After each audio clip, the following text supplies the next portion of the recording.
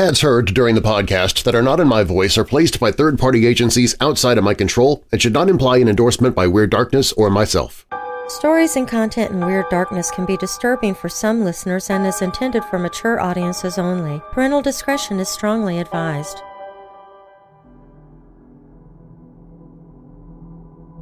On May 21, 1924, 14-year-old Bobby Franks left an after-school baseball game to walk the three blocks home to his house in the Kenwood neighborhood of Chicago and simply vanished.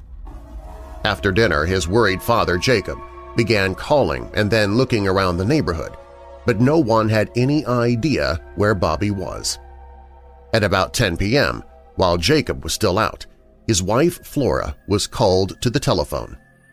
A man identifying himself as Mr. Johnson informed her that Bobby had been kidnapped. The caller hung up, and Flora fainted. The Frankses spent a sleepless night, frantic with worry, before receiving, at 9 a.m., May 22nd, a special delivery letter informing them that their son was still alive but that they must deliver a $10,000 ransom that afternoon in order to keep him safe. Jacob Franks was at the bank, withdrawing the money as instructed in old 20 and $50 bills when a tip came in from a morgue in Indiana, near the Illinois border, that a boy's body had been found in a drainage ditch in a nearby swamp. It wasn't clear how or when or why the boy had died, but a Chicago Daily News reporter who'd seen the corpse phoned another Daily News reporter who was already staking out the Franks' house to say that he thought someone from the family should come down to take a look. When the next phone call came later that afternoon from Mr. Johnson with further instructions for delivering the ransom, Jacob Franks was too distraught to follow what Mr. Johnson was saying because another call had just come in from his brother-in-law down at the morgue. The body of the dead boy was, indeed, Bobby's. The fact that a millionaire's son had been found mysteriously murdered was instant front-page news in Chicago, and the story only gathered steam over the next few days, as the papers filled with speculation. Why had Bobby's killer not even waited to get the ransom?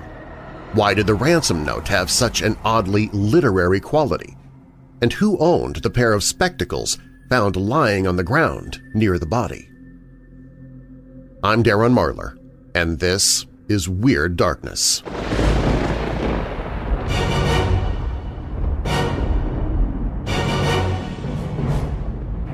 Welcome, Weirdos! I'm Darren Marlar, and this is Weird Darkness. Here you'll find stories of the paranormal, supernatural, legends, lore, the strange and bizarre, crime, conspiracy, mysterious, macabre, unsolved, and unexplained. Coming up in this episode, Nathan Leopold and Richard Loeb should never have been friends. They were too different from one another but they did have one thing in common. They both agreed to create the perfect murder. And a mundane pair of eyeglasses would be their undoing. If you're new here, welcome to the show. While you're listening, be sure to check out WeirdDarkness.com for merchandise, my newsletter, to enter contests, to connect with me on social media. Plus, you can visit the Hope in the Darkness page if you're struggling with depression or dark thoughts.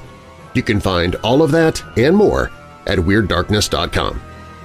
Now, bolt your doors, lock your windows, turn off your lights, and come with me into the Weird Darkness.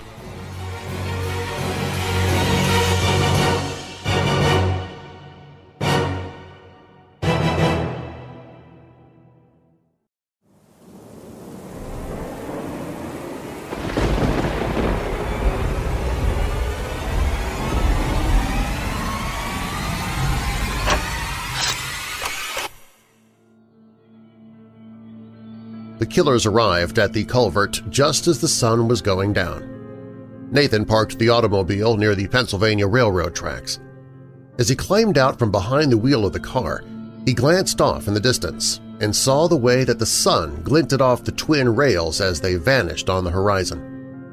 He pressed his lips together in a twisted grimace and opened the trunk of the car. He pulled out a pair of rubber hip boots and sat down on the back bumper to slide them on over his shoes. As he did so, the passenger door of the car creaked open and his partner, Richard, climbed out. The young man stretched casually and let out a sigh. They'd been riding around the Indiana countryside for hours, waiting for it to get dark. It felt good to get out of the car. Wordlessly, Nathan opened the rear driver's door and Richard walked around the back of the car to help him. Together, they reached for the bundle that had been shoved onto the floorboard behind the front seat.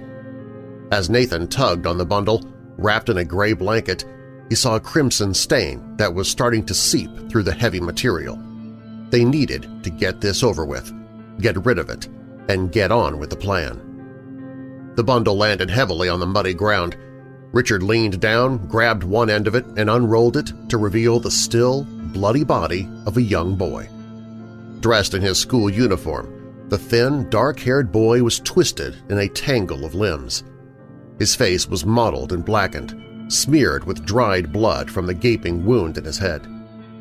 Nathan wondered for a moment if the boy might still be alive, but the corpse lay stiff and rigid on the ground. Its glassy eyes stared up at them, unblinking. With no hesitation, Richard quickly began undoing the buttons on his jacket. Nathan started with his shoes, pulled off the boy's socks, and they stripped him naked. If the body was found, this would make him much harder to identify. It was a warm night, and Nathan was already sweating. His jacket felt tight and uncomfortable.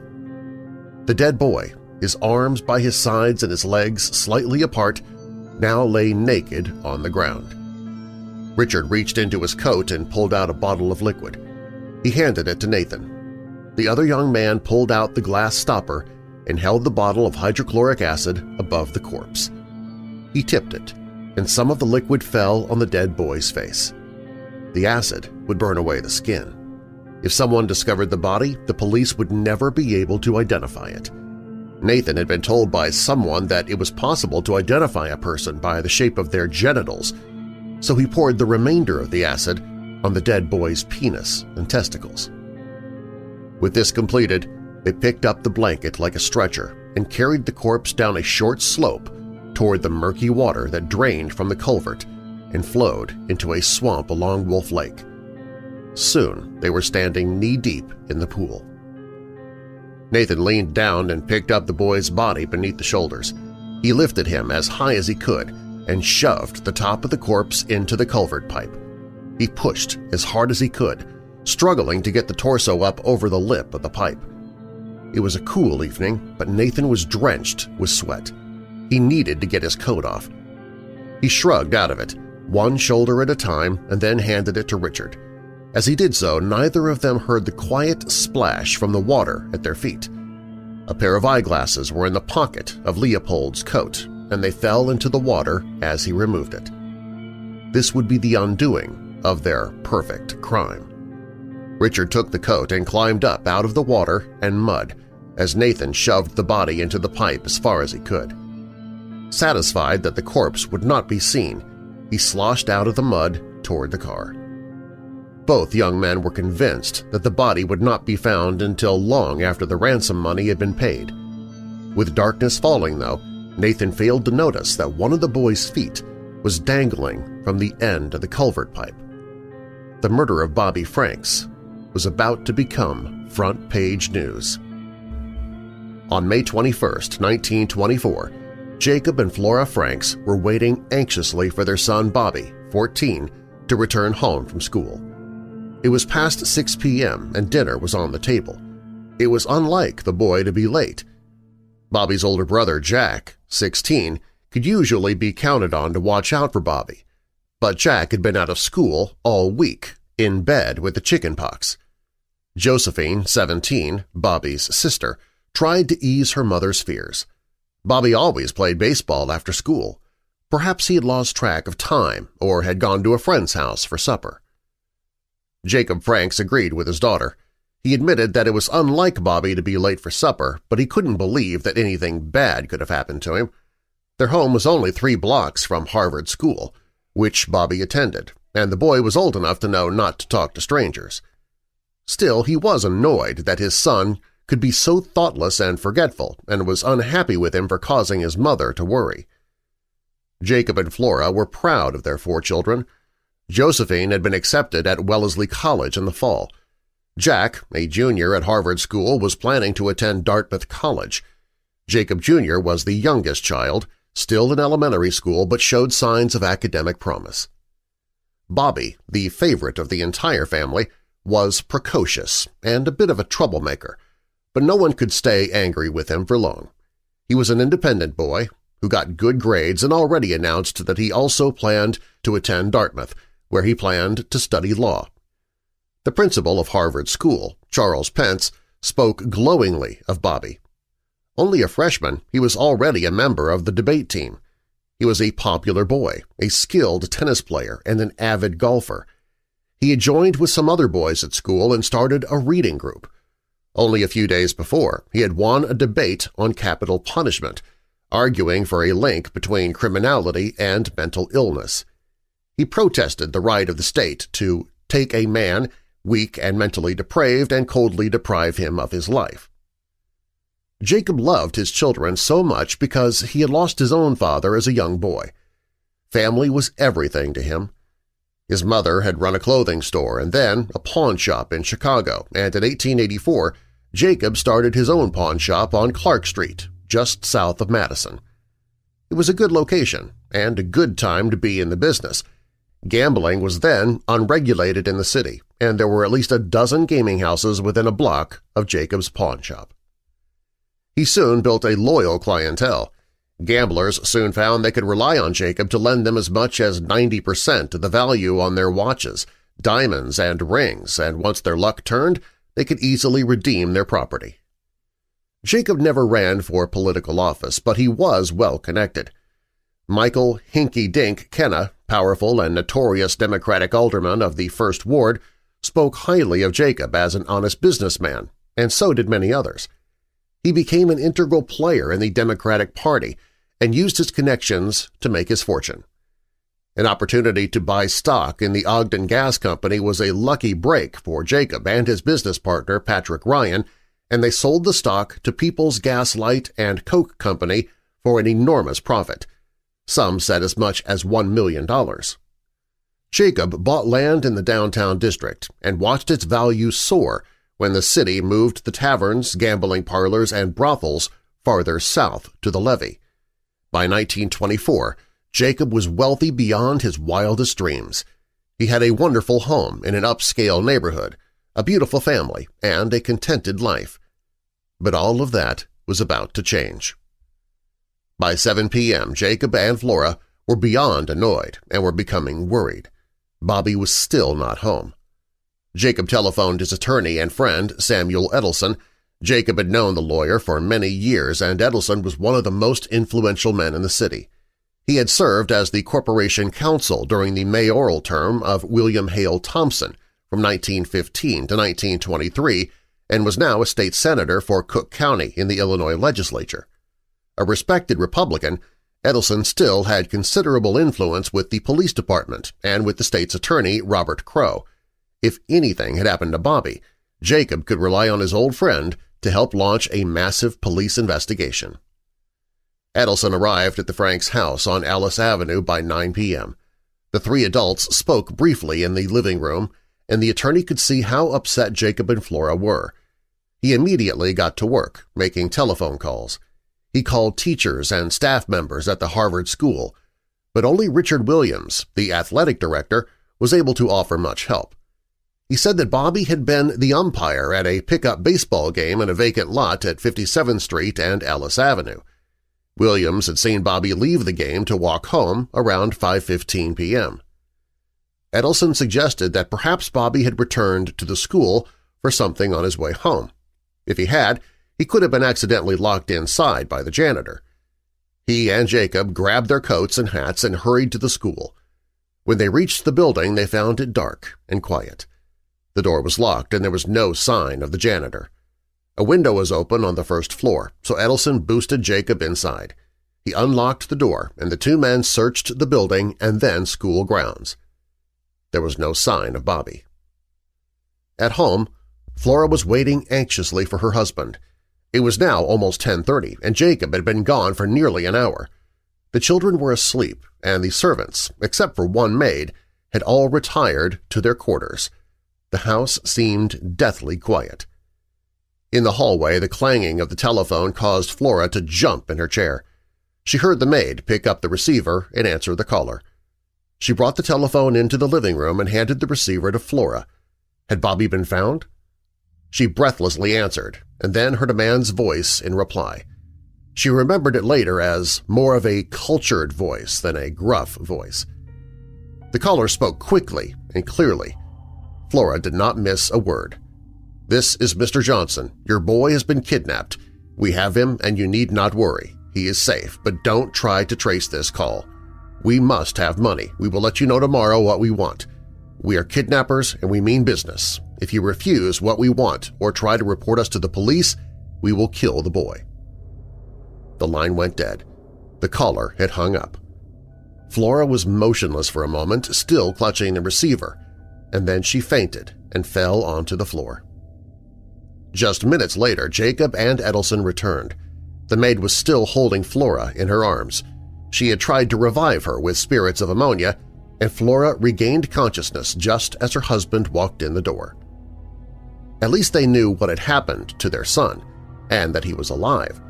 Perhaps the kidnapper would call again that night, so Ettelson called the telephone company to put a trace on incoming calls. It was a risk. The kidnapper had specifically warned against it, but Ettelson was in a difficult position.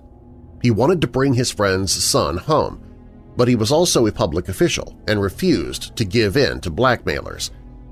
From his years as Chicago's Corporation Counsel, Ettelson had vast experience with city affairs and with negotiating contracts with labor unions, utility companies, building contractors, and every kind of underworld boss that Chicago could send his way. However, nothing had prepared him for this. He was uncertain how to proceed. Should they inform the police, or should they wait for another call? If they obeyed the kidnapper's demands, were they still putting Bobby's life at risk? Ettelson paced the floor, trying to decide how best to advise Jacob and Flora. Of course, there was no way that he could know that the threat they faced was much less sophisticated than they could have imagined. Or that the kidnapping had already become a murder. At 2 a.m., Ettelson finally decided that they should go to the police. Jacob was relieved. He could stand the inaction no longer. Anything was better than waiting for the telephone to ring. Ettelson was not only connected in the police department, he was personal friends with Chief of Detectives Michael Hughes and with Deputy Captain of Police William Shoemaker. Why not use his influence to get them to rescue Bobby? The two men rushed to the Central Police Station and explained the situation to the young lieutenant in charge, Robert Welling. He listened carefully but was reluctant to mobilize the entire department in the middle of the night – what if in the morning the whole thing turned out to be a juvenile prank? Ettelson agreed, perhaps fearing for his own reputation if it didn't turn out to be a kidnapping at all. Besides, hadn't the kidnappers threatened to kill the boy if they contacted the police? Perhaps, he decided finally, we better wait until morning before doing anything about it. Before Ettelson could return to the police station the next morning, a special delivery letter arrived at the Franks' home. The envelope had six two-cent stamps on it and was postmarked in Chicago. It had been mailed either the previous evening or early that morning. The letter, written by George Johnson, promised that Bobby was alive and it provided instructions for his return. It also warned again about the involvement of the police. The details of the typewritten letter were as follows. Secure before noon today $10,000. The money must be composed entirely of old bills of the following denominations $2,000 and $20 bills, $8,000 and $50 bills. The money must be old. Any attempt to include new or marked bills will render the entire venture futile. The money should be placed in a large cigar box and wrapped in white paper.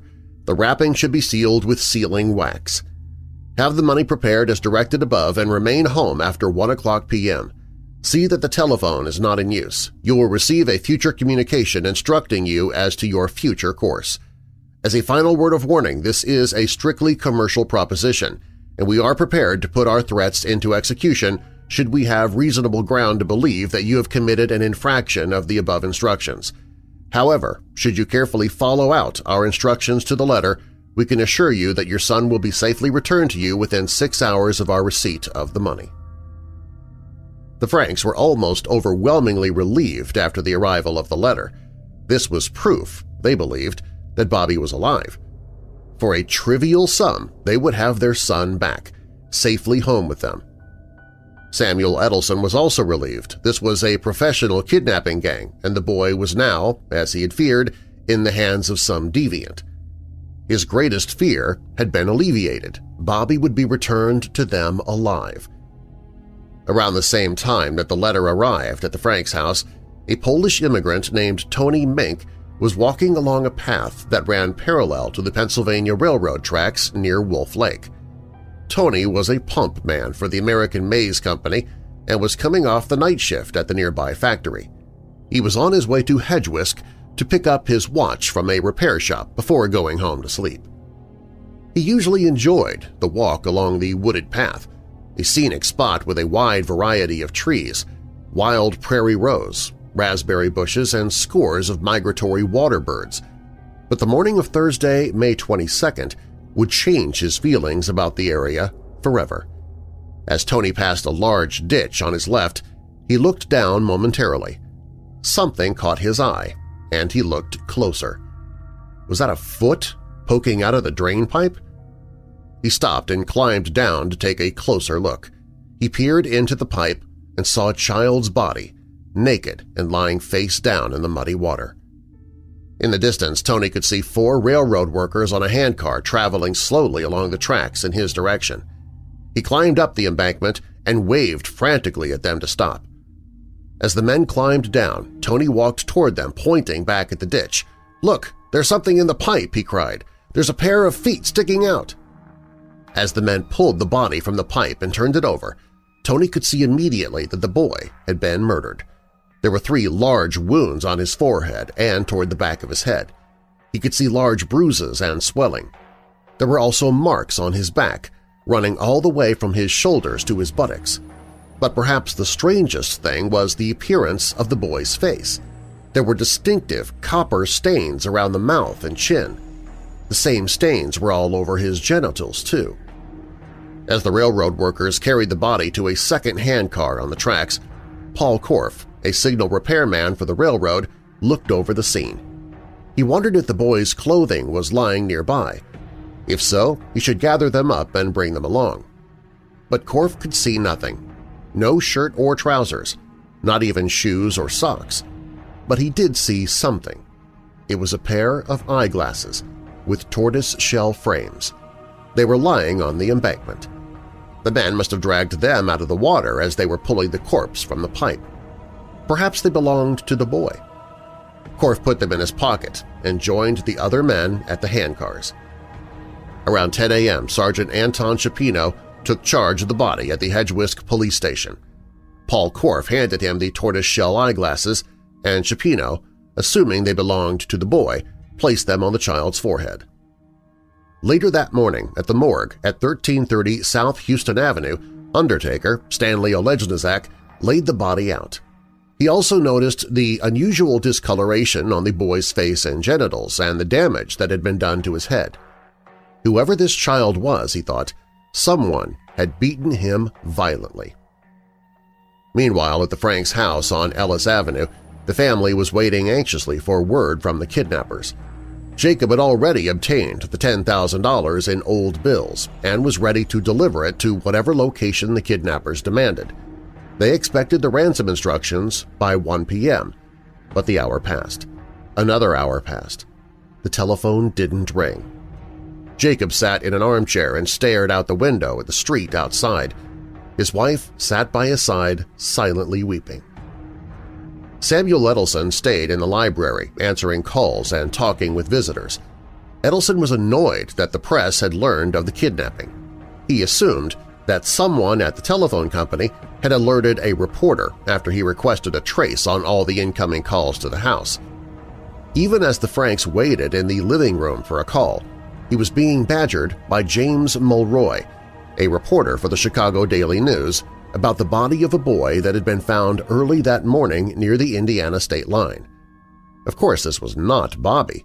Mulroy had said the boy was found wearing eyeglasses, and Bobby had never worn eyeglasses in his life. But Ettelson had to be sure. He contacted Edwin Gresham, the brother of Flora Franks and Bobby's uncle, and asked him to go down to the morgue with the reporter and take a look at the body. And if by some chance it really was Bobby at the morgue, he should telephone the house and say only one word, yes, over the line, nothing more. There was a telephone extension in the living room, and Ettelson did not want Flora to overhear the news of her son's death. The telephone rang 30 minutes later. Ettelson picked up the receiver, and he recognized Gresham's voice. Yes, the man choked out. The line went dead, and Ettelson placed the receiver back in its cradle with shaking hands. He walked into the living room. Flora had left the room, but Jacob was still sitting in the armchair staring at the street outside. He looked exhausted.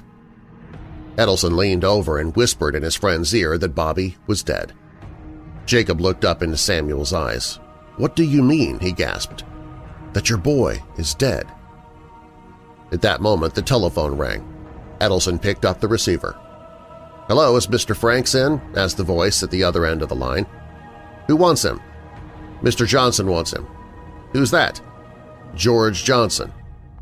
Just a minute, Ettelson replied as he passed the telephone to Jacob. He whispered that it was the kidnapper. Jacob was still in a daze. He was still stunned by the news that his beloved Bobby was dead. Yes, he mumbled into the receiver. This is George Johnson speaking. There will be a yellow cab at your door in 10 minutes. Get into it and proceed immediately to the drugstore at 1463 East 63rd Street. Couldn't I have a little more time? No, sir, you can't have any more time. You must go immediately. Ettelson didn't know what to do. Edwin Gresham said that Bobby was dead. Why was the kidnapper still looking for the ransom money? Could Bobby still be alive? The yellow cab soon arrived, waiting in the street with its engine running. Jacob was exhausted. He hadn't slept in more than 36 hours and couldn't remember the address at the drugstore, only that it was on 63rd Street. Ettelson pleaded with him to recall the location of the drugstore, but it was no use. Jacob was confused, shocked, and sad. It was simply gone from his mind. He sat back down in the armchair. He wasn't going to be delivering any ransom money today. Ettelson paid off the cab driver and stood on the sidewalk and watched it drive away. Had they missed their only chance to rescue Bobby? No, it was too late. He knew Bobby was already dead.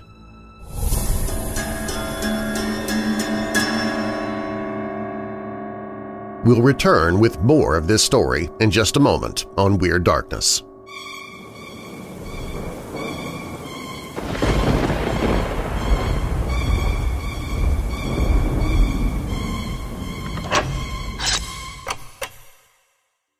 There have been monsters among us lurking in the darkest corners of America, preying on children since the first settlers arrived on our shores. They've always been with us, stalking the innocent from the days of the original colonies to the Gilded Age, the Depression, and beyond. These monsters are not the stuff of fiction. They are blood-curdlingly real, and they still walk among us, always looking for their next victim. In the chilling book Suffer the Children, Troy Taylor shines a light on the darkest tales of horror and hauntings from American history and presents a terrifying collection of dark crimes perpetrated against our most tender victims, our children. His most disturbing book yet includes nightmarish tales from the 19th century, when the good old days were never good, like The Monster of the North Wood, The Pocasset Horror, and The Girl in the Cellar, and continues into the modern day with accounts of the Cluxon Woods, America's First School Massacre, Wineville Chicken Coop Murders, Babes of Englewood, Suzanne Degnan, the Girl Scout Camp Massacre, The Perfect Murder of Bobby Franks, and many more. Be warned, this is not a book for the faint of heart. These are tales containing brutal, agonizing, and terrifying scenes of horror. Suffer the Children, American Horrors, Homicides, and Hauntings, Dead Men Do Tell Tale Series Book 15 by Troy Taylor. Hear a free sample on the audiobooks page at WeirdDarkness.com.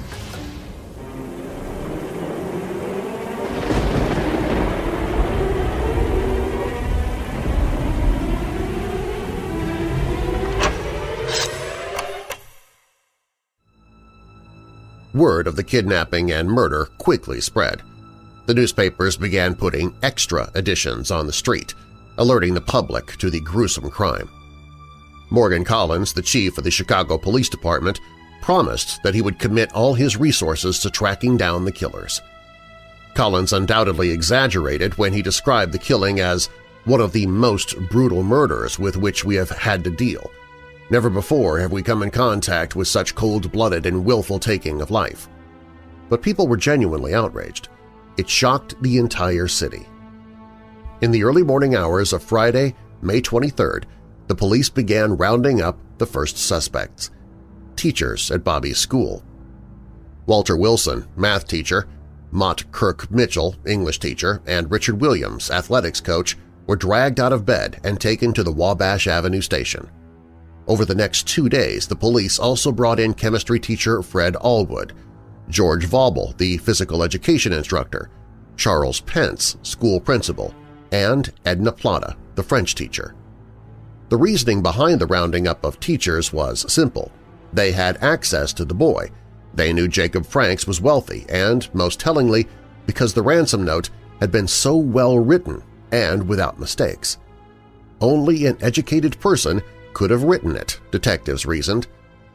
Hugh Sutton, an expert with the Royal Typewriter Company, thought the kidnappers had used an Underwood portable typewriter less than three years old, and the typist had used two fingers to compose the letter. The person who wrote this letter, he stated, never learned the touch system. The touch system strikes the keys pretty evenly, with an even pressure on the keys. The man who wrote this was a novice at typing. Some of the letters were punched so hard that they were almost driven through the paper, while others were struck lightly or uncertainly. Jacob's name had been printed by hand on the envelope in block letters. Handwriting experts determined the letters displayed a uniform slant and regular spacing character. It was obviously the penmanship of a capable writer. In other words, the police surmised, it must be a teacher. It wasn't, but it took detectives some time to figure that out. Some of the faculty were grilled harder than others. For instance, Walter Wilson was unmarried and had no girlfriend. He'd also shown an unusual interest in the Franks children. Several months earlier, he had taken Bobby and his younger brother Jacob Jr.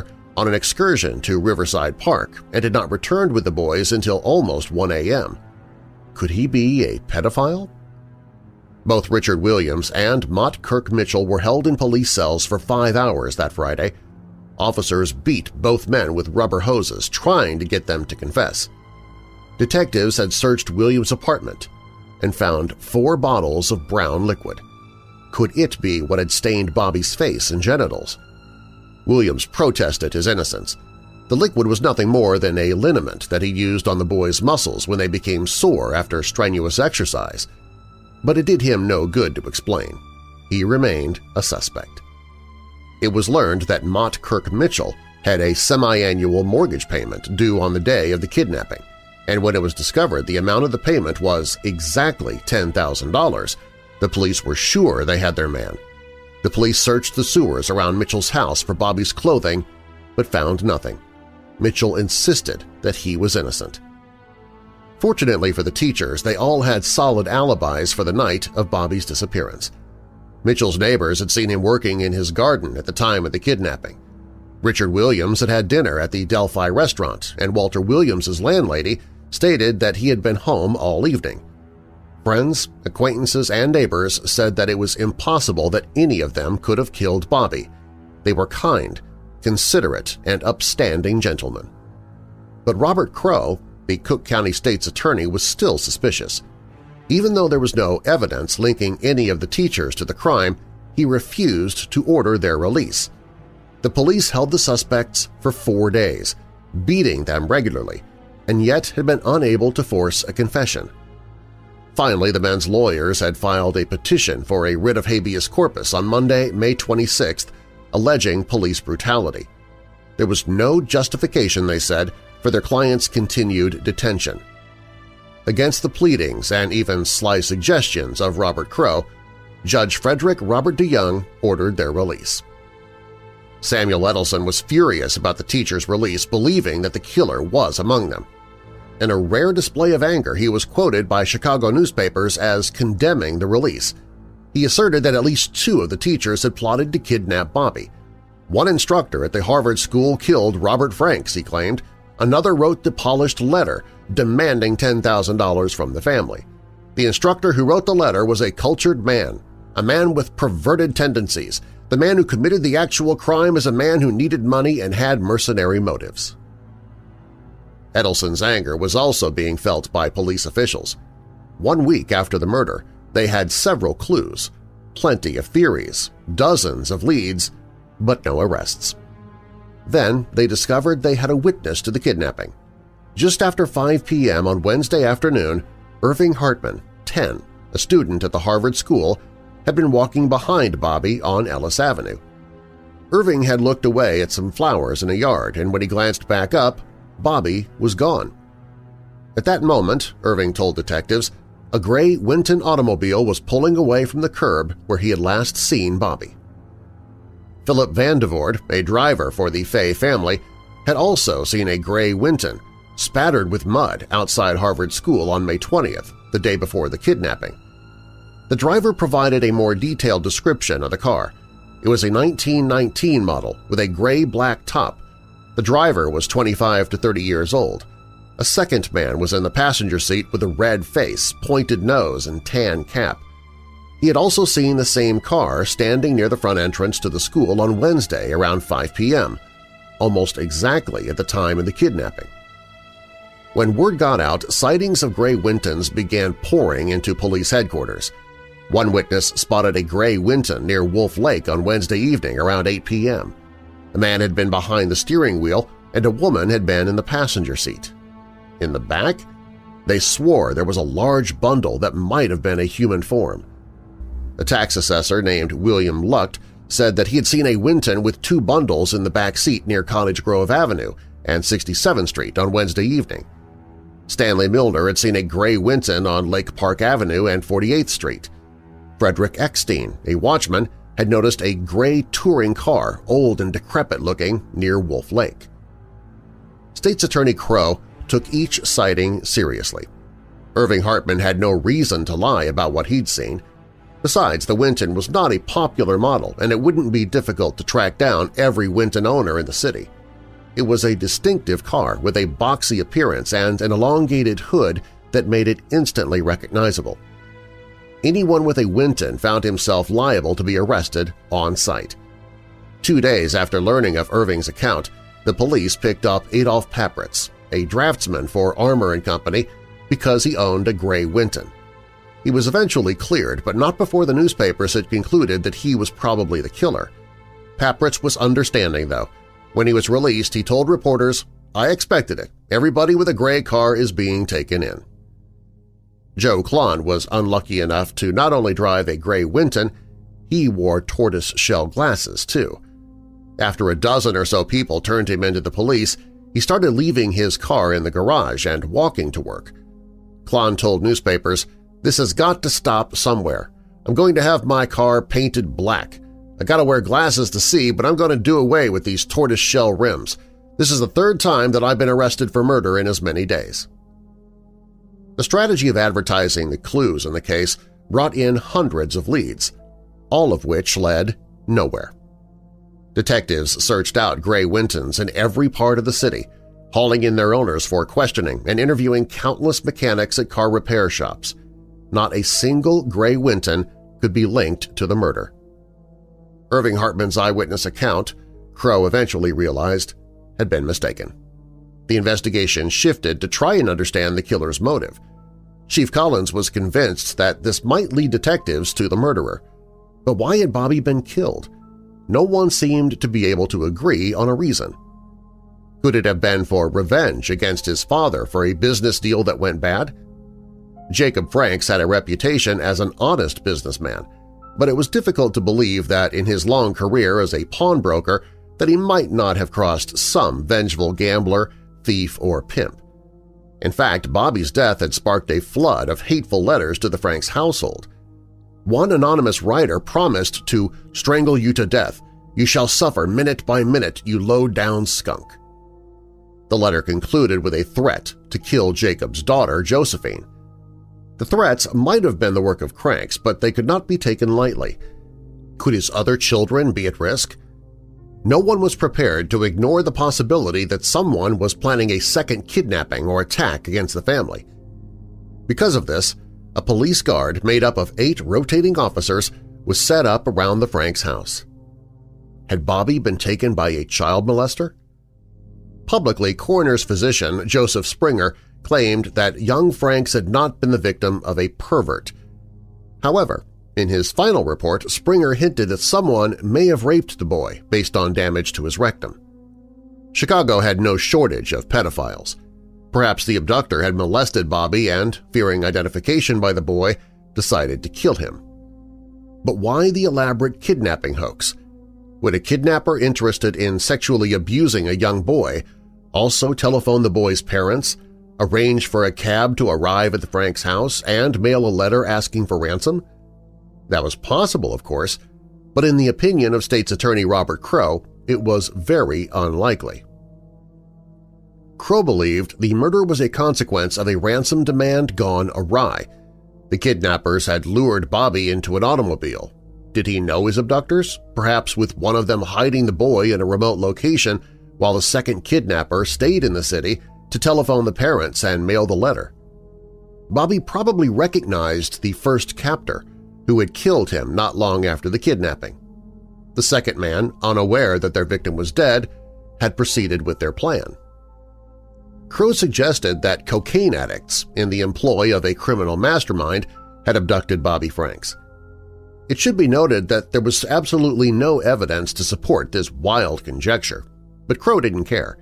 He knew that by linking illegal drugs to the murder, he could legitimately call on outside assistance in the investigation. If the detectives of the Chicago Police Department were not up to the task, perhaps federal agents from the Bureau of Investigation could find the culprits. As he told a reporter, we shall, by the process of elimination, try to find some one user of drugs who was sufficiently well acquainted with the habits and movements of the Franks family to have contrived a kidnapping plot. Dope will be found at the bottom of it all. It was ridiculous, but the police had nothing else to go on at that point. They didn't realize yet that the entire case would be broken by one innocuous item – a pair of eyeglasses. On Monday, May 26th, the Franks family held a funeral service for Bobby at their home on Ellis Avenue. It would have been impossible for the service to have taken place at a public location because the crowds would have been too large. The entire thing would have become a circus. Every day since the kidnapping, hundreds of curiosity seekers had milled around outside their house, gawking at the locked doors and drawn curtains, hoping to catch a glimpse of a mourning family member. On that morning, a select group of people, members of the family, 20 of Bobby's classmates, and a few close friends gathered around a white casket in the library for the service. Flowers crowded the room and surrounded the coffin. The Lord's Prayer was offered, followed by a reading of the 23rd Psalm and other passages from the Scriptures. Two hymns were sung, and then the mourners moved silently and slowly toward the front door, where black limousines waited to take them to Rose Hill Cemetery on the city's north side. Eight boys carried the casket to the hearse, while other boys from the Harvard School followed somberly behind. There was now a crowd of 300 people waiting in the street, the family slipped out of a side door with a police escort to escape the photographers. Chief Collins had sent a large contingent of police to maintain order, and there were no disturbances. At Rose Hill Cemetery, prayers were offered and Bobby Franks was laid to rest in the family mausoleum. But, as we will later see, he would not rest there in peace. The police investigation had come to a halt, Detectives had been unable to connect Bobby to anyone with a gray Winton like the one seen by Irving Hartman. There was no evidence to link any of the teachers from Harvard School to the kidnapping. They'd been unable to identify the person who had written the ransom note. There was only one clue left, which no one had bothered to pursue – those tortoise-shell eyeglasses that Paul Korff had found at the murder scene. It took more than a week, but the police finally realized that the eyeglasses were a valuable clue and likely the only way to track down the killer. The lenses in the tortoise-shell frames could have only been obtained by a prescription. They had not been purchased over the counter. Somewhere there was an optician who had ground the glasses and that optician had a copy of the prescription in his files. And if he had the prescription, then he had the name of the person who wore them. Unfortunately, though, the prescription was a common one. It was given to persons suffering from simple astigmatism or astigmatic farsightedness. The lenses were of a convex cylindrical type, which was also common. The prescription alone wasn't going to get them anywhere. There were thousands of Chicagoans with such glasses, but the frames turned out to be unusual. Composed by Newport Xylonite, an artificial composite, the frames had distinctive rivet hinges and square corners. No firm in Chicago or anywhere in the Midwest manufactured Newport Xylonite frames. They originated in Brooklyn, and only one optician in Chicago sold such frames, Almer Coe Company. The owner of the firm recognized the glasses immediately. We identified them as a type sold by us and not by any other Chicago dealer. The lenses had markings used by us and, as far as we know, not used by any other optician in Chicago. The lenses are not unusual. Such prescriptions are often filled by us, possibly once a week. They are lenses for eye strain or headache and would not materially improve vision. They might be used only for reading or for what is known as mild astigmatism. Their measurements are average in every way. This seemed to be disheartening news until detectives found out just how few of the tortoise-shell frames had been sold in the city. On Thursday, May 29th, clerks at Almer Coe began the task of checking to see how many customers had purchased those particular frames with that particular prescription. The number was shockingly low. Only three pair of glasses with such unusual frames had been sold. One pair belonged to an attorney who was away in Europe, the other to a woman, and the third pair had been sold to a young man who lived in the Kenwood neighborhood on the south side. State's Attorney Robert Crowe finally felt they were gaining ground in the investigation. That afternoon, police officers knocked on the door of Nathan Leopold, Jr., a 19-year-old law student at the University of Chicago. He was taken into custody, but it seemed to be nothing more than for routine questioning. The reporters following the Franks case were only mildly curious. Leopold's father was one of the wealthiest Jewish businessmen in the city, and the family was socially prominent, with influential connections. Nathan himself was a brilliant student who had recently applied to transfer to the law school at Harvard University. Nathan Leopold obviously had nothing to do with the murder of Bobby Franks, they thought, and returned to chasing other leads. That afternoon was not the first time that the police had spoken to Nathan in the wake of Bobby's murder. A few days earlier, on Sunday afternoon, he had spent two hours answering routine questions about Wolf Lake and the surrounding area. He had often conducted ornithology classes near the Pennsylvania Railroad tracks and had frequently taken boys from the Harvard School to the lake, as well as boys and girls from the University High School. The police had no reason to suspect him of anything, and it quickly became apparent that their questions truly were routine. But Nathan had no time for distractions – he had decided to apply to Harvard University Law School and that week he was taking his entrance exams. He needed to concentrate, so he was particularly annoyed when the police returned to his family home at 4754 Greenwood Avenue with more irritating questions. A maid answered Detective Frank Johnson's knock at the door, and he waited with other officers for several minutes until Nathan came downstairs. As Johnson introduced himself, he noticed Nathan's irritation. He demanded to see the police officer's identification. Johnson bristled at the arrogance in the young man's voice. After showing Nathan his badge and reciting his credentials again, he told Nathan that he was wanted at the state attorney's office to answer some more questions. As the boy turned to get his jacket, Detective Johnson asked a quick question in an offhanded way. By the way, do you wear glasses? Yes. Did you lose your glasses? No, they're around here someplace. But Johnson didn't ask him to produce them. He was in a hurry. Robert Crowe had ordered him to bring Nathan to the Hotel LaSalle, not the state's attorney's office, in the downtown business district. Crowe was being cautious, even though detectives had discovered that Leopold was one of the only people on the optician's list who owned eyeglasses like those found at the scene that hadn't been checked out, he could not link him otherwise to the murder of Bobby Franks. He had little desire to pull the Leopold family into the investigation without a good reason. If Nathan suddenly appeared at the criminal courts building, reporters were bound to speculate. So Crowe decided to meet with him in secret and give him a chance to provide an explanation as to how his eyeglasses could have been found near a corpse. The meeting was short. Nathan said that he did have a pair of glasses like the ones that had been found, but that his were in the pocket of his coat, at home. He could prove it if detectives wanted to take him home. When he arrived there, he made a show of searching for the glasses, but he now knew that the state's attorney had one piece of evidence linking him to the murder of Bobby Frank, a murder that he helped commit. From that point on, the questioning of Nathan Leopold was no longer casual.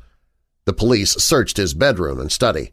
They turned up two items. Neither of them connected him to the murder, but both the gun, a Remington 32 caliber automatic, and a letter from Nathan to a second boy, Richard Loeb, were unusual and unexpected. Nathan had no permit for the handgun, which made it illegal, but it was the letter that was the real puzzle. As Robert Crowe read it over, he could discern that the two boys had quarreled. Nathan accused Richard of treachery and threatened to kill him, but then wrote that he wanted to continue their friendship. The letter was alternately pleading, aggressive, and submissive. Nathan was angry with Richard, and yet desperate that they remain friends. If Richard broke off their relationship, Nathan concluded, extreme care must be used – the motif of falling out of cocksuckers would be sure to be popular, which is patently undesirable and forms an unknown but unavoidable bond between us. There was no clue in the letter to say why Richard and Nathan had argued, but it was evident that the boys were lovers who had had a fight. Crowe decided to bring Nathan into the criminal courts building, and now he wanted to talk to Richard Loeb. It was unlikely that the second boy, also the son of a wealthy and prominent Chicago businessman, knew anything about the murder, but Crowe could use Richard to get information about Nathan. Crowe had experience with this kind of blackmail, one hint that he would reveal Richard's homosexual secrets and the boy would be willing to talk. Crowe began hammering questions at Nathan Leopold in the interrogation room. It went on for hours, but he could not discover anything that he could use to link the young man to the murder. He demanded to know how Nathan's glasses had ended up near Bobby's body – Nathan had a quick answer to that. He had been birdwatching at Wolf Lake on the Sunday before the murder and must have lost them then. He must have been walking right near the drain pipe where the real killer had placed the body. Nathan told his story in a breezy, confident manner, calmly smoking a cigarette as he spoke. But when Crowe insisted that he placed the eyeglasses in the coat pocket that he claimed that he'd been carrying them in and then bend over to see if they'd fall out, he became flustered. He repeated the motion, which he claimed had caused the glasses to become lost, but they stayed securely in place. But it didn't matter.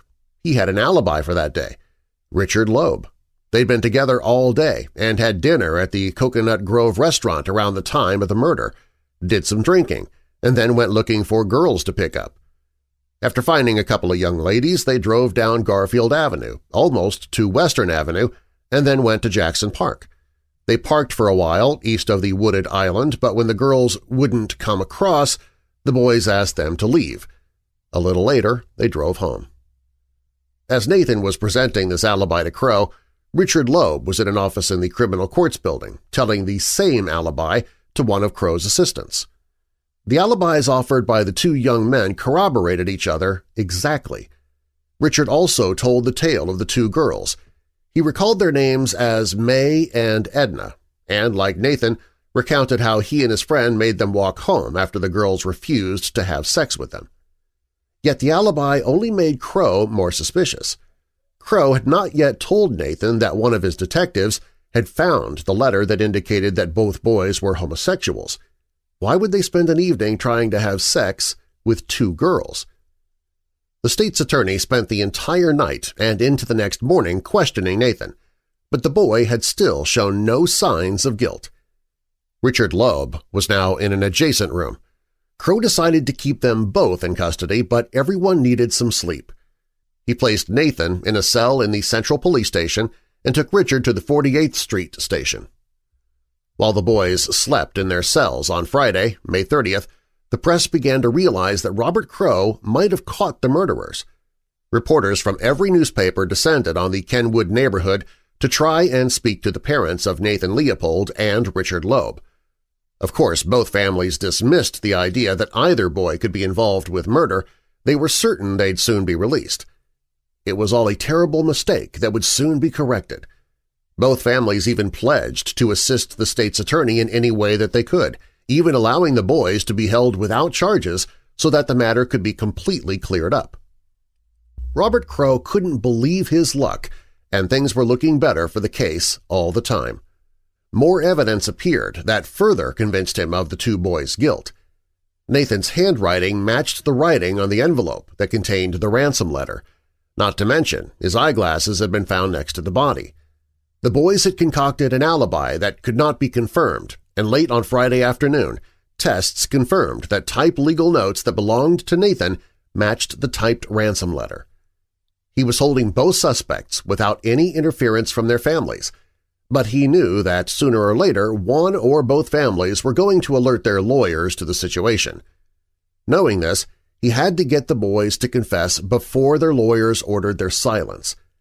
Neither boy had yet asked for a lawyer, and neither had refused to answer questions – they just weren't the answers that Crowe wanted. How could he get a confession? In the end, he had some help. Two young reporters from the Chicago Daily News, Alvin Goldstein and James Mulroy, both of whom had been on the story from the beginning, had gone to school with Richard and Nathan and knew them both. They were surprised to find them in police custody, but decided to try and match the legal notes that Nathan had written to the typewritten ransom letter. They provided the information about the letter to Crowe and suggested looking for the portable Underwood that he'd used for both the letter and the legal notes. They searched his house, but didn't find it. However, one of Leopold's maids, Elizabeth Sattler, admitted that Nathan did have a portable Underwood and that it had been in the house just a few days before the murder of Bobby Franks. All along, Nathan's father had been telling the police that his son could not have abducted Bobby and driven him out to Wolf Lake because the family's driver, Sven Englund, had spent the day of the kidnapping working on Nathan's car, fixing his brakes. Englund, when questioned by one of Crowe's assistants, admitted this was true, but he added that Nathan was not home at the time. He'd been picked up by a second boy who was driving a green car. They had left together and had not returned that afternoon. Englund's account had smashed the boy's alibi. Crowe had been interrogating Nathan when the news was brought to him. He stopped talking. He now knew that both boys had been lying to him about their movements on the day of the murder. They both claimed that they'd been driving around in Nathan's car all day, and now Crowe knew that car hadn't moved from the garage. Crowe had no time to lose. The Leopold family had sent Englund to the criminal courts building with the belief that his story would clear their son. Perhaps even now Nathan's father was contacting a lawyer to get his son released. If Crowe could get the confession he so desperately needed, he'd have an open and shut case. With all the new information in hand, he started over with his interrogations. He would play the two of them against each other and get them to talk. But Crowe was exhausted. He wasn't sure how much longer he could continue the questions. As it happened, Richard Loeb broke first. One of Crowe's assistants, John Sparbo, had remained with Richard while Crowe was in his office gathering materials and his wits. Nearly a half hour passed, and then Crow heard a sudden bustle in the hallways outside. Sparbo had left the room and was hurrying, almost running, toward Crowe's office. The assistant state's attorney was almost out of breath when he opened the door. Loeb wanted to talk to the state's attorney. There was no time to lose. Quick, quick, he said, before the boy changes his mind.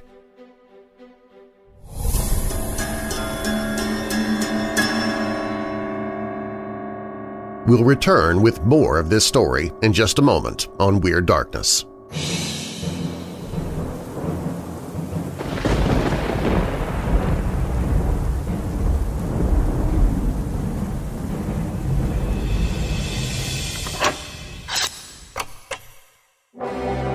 Our next Weirdo Watch Party is Saturday, April 13th. Are all the men gathered?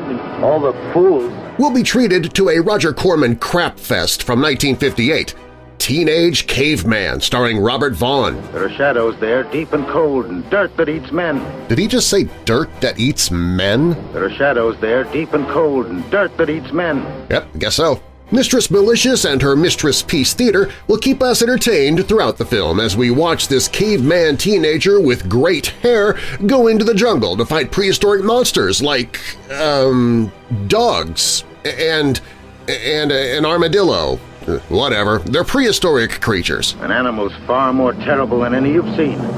Our Weirdo Watch Party is always free to watch online, so grab your popcorn, candy, and soda and jump into the fun, and even get involved in the live chat as we watch the movie. We could make a place to lie down on. Plus, during this Weirdo Watch Party, I'll be giving away a Creepy Crate to one lucky winner, full of scary surprises like horror collectibles, true crime-themed accessories, books, terrifying trinkets, and more, with some Weird Darkness swag added in. You won't know what's in the creepy crate until you open it. Strengthening his courage, his daring, his dreams. And I'll be giving instructions on how to win the creepy crate inside the chat during the movie, so you have to tune in to win. It's Teenage Caveman, Saturday, April 13th, hosted by Mistress Peace Theater. See the awe-inspiring beasts in a teenage caveman's world. The show begins at 10 p.m. Eastern, 9 p.m. Central, 8 p.m. Mountain, and 7 p.m. Pacific. You can watch a trailer for the film and watch horror hosts and schlocky B-movies anytime, day or night, on the Monster Channel page at WeirdDarkness.com. Hope to see you on Saturday, April 13th.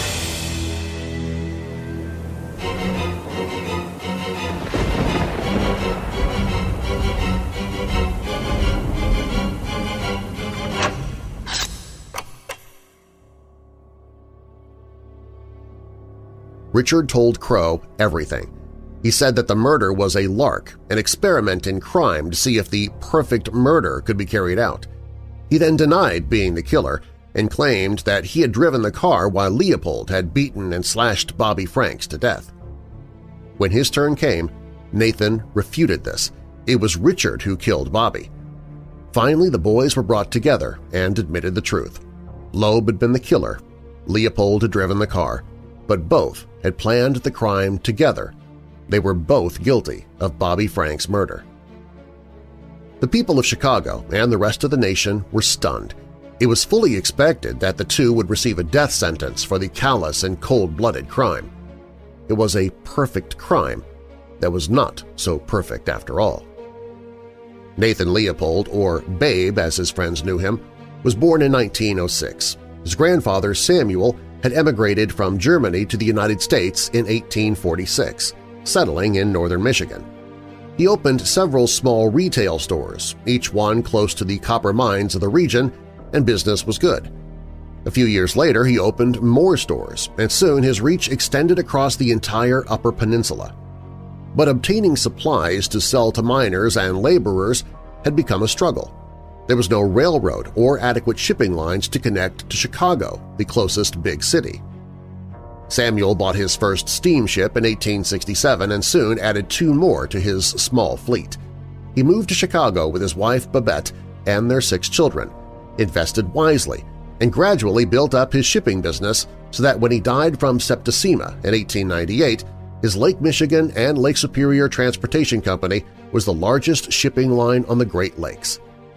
His oldest son Nathan was born in 1860 and proved to be the kind of capable businessman that his father was. He inherited the family business, married his childhood sweetheart, Florence Foreman, bought a large home at 3223 Michigan Avenue, and made a second fortune manufacturing aluminum cans and cardboard boxes.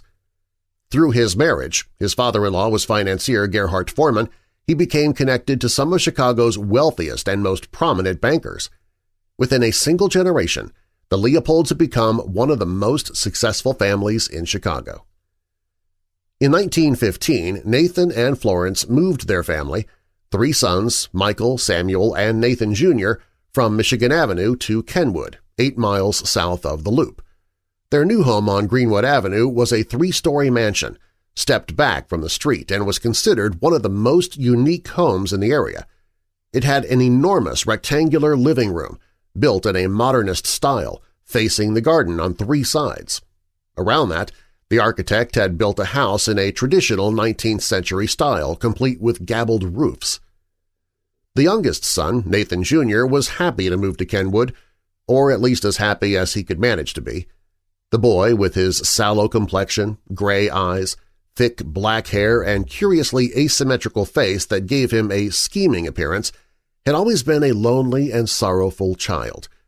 For two years, he'd attended the local public school, just a few blocks from the family's Michigan Avenue home.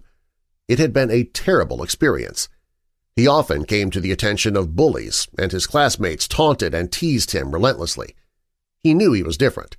He was shy and studious and had little interest in sports. His parents were wealthy, and each afternoon at the end of the school day, his governess embarrassed him by appearing at the school gate to walk him home. And when his classmates discovered that Nathan had briefly attended an all-girls school at age six, the humiliation was complete. Nathan felt that he had no one to turn to for help. His father was distant and aloof. His mother was bedridden after contracting some mysterious illness during her pregnancy with Nathan. His brothers were older by several years and they were not close. So he turned to his governess, Mathilda Wantz, who'd been hired in 1911. She was an attractive, strong-willed German woman with a heavy accent and a flirtatious manner. She quickly became a strong presence in the house and a substitute mother for the boys, especially Nathan. Florence loved her children, with special regard for Nathan, a weak, frail boy, but her illness forced her to give up control of the household to the governess. It wasn't long before the maids were gossiping about Mathilda's scandalous behavior. It became common knowledge that she was having sex with Samuel, 17, and even with Nathan, who was only 12. Nathan was smitten with the governess and welcomed her affections. I was thoroughly devoted to her, he later said. Regardless of what was happening at home, Nathan was excelling at his new school. After the family had moved to Kenwood, his father had enrolled him at the Harvard School, located at 47th Street and Ellis Avenue. The building was unremarkable looking, but the teachers were, without exception, conscientious and hardworking, devoted to the students, and determined that each boy should, if he desired, attend an excellent college. Fewer than 200 boys attended Harvard School. The primary school included eight grades with approximately 15 boys in each grade. The high school was made up of four classes, ranging from freshmen to seniors. The school emphasized academic excellence, and the size of the classes enabled the teachers to give each boy individual attention. Occasionally, a boy might graduate and go directly into his father's business, but more typically, every member of the graduating class went on to college – most alumni went to the University of Chicago or to an elite private institution like Yale, Cornell, or Dartmouth. The classes at Harvard School were too small to support sports teams, and that was fine with Nathan. He was indifferent to that kind of activity. He loved the classwork. In addition to his assigned course, he took electives in German and classical Greek, and each year he earned the standing of top in his class – he was still an outsider, his classmates regarded him as an eccentric loner, but by junior year he had won a few friends who shared his interest in ornithology. He had a passion for collecting birds and kept his collection in a study that adjoined his bedroom. He had over 2,000 specimens. On weekends he went to the Wolf Lake, southeast of the city near the Indiana state line, to hunt for new species for the collection. By the spring of 1920, Nathan, 15, was a junior at Harvard School, but had come to the conclusion that he had no more to learn from his teachers. He had accumulated enough credits to skip his senior year and go straight to the University of Chicago. He was excited about the challenge, and plans were made for him to enter the university's freshman class. But that summer, in June 1920, Nathan made a new acquaintance, an impossibly good-looking young man with brown blonde hair blue eyes and a ready smile. His name was Richard Loeb. Like his new friend, Richard also came from a wealthy, well-connected family. His father Albert was the vice president of Sears and Roebuck and a close friend of millionaire philanthropist Julius Rosenwald.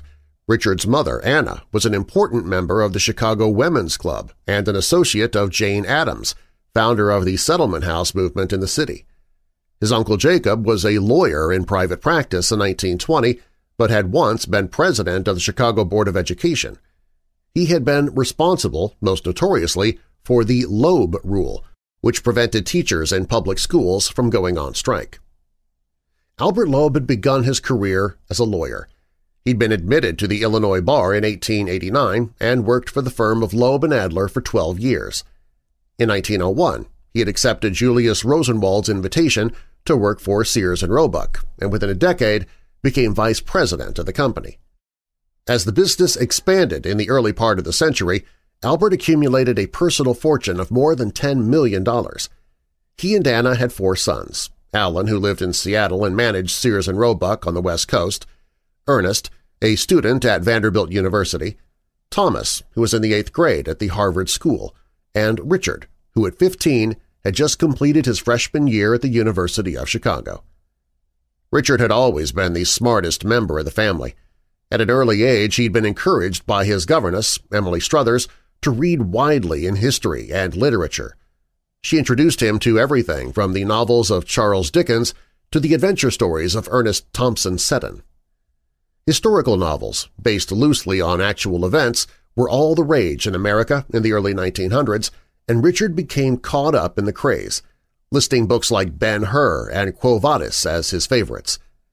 Emily was ambitious for her young charge, imagining that he might grow up to be an ambassador or diplomat. She encouraged the literary classics, but also made sure he read serious historical works as well. Richard was a dutiful student and always read the books that Emily picked out for him, but he never divulged his true obsession, which was for crime and mystery stories. He had discovered a copy of Frank Packard's thriller The Beloved Traitor among his brother's books. Alone in his bedroom, he spent hours reading about a famous criminal who could get out of almost any complex or dangerous situation. He became enthralled by such adventures.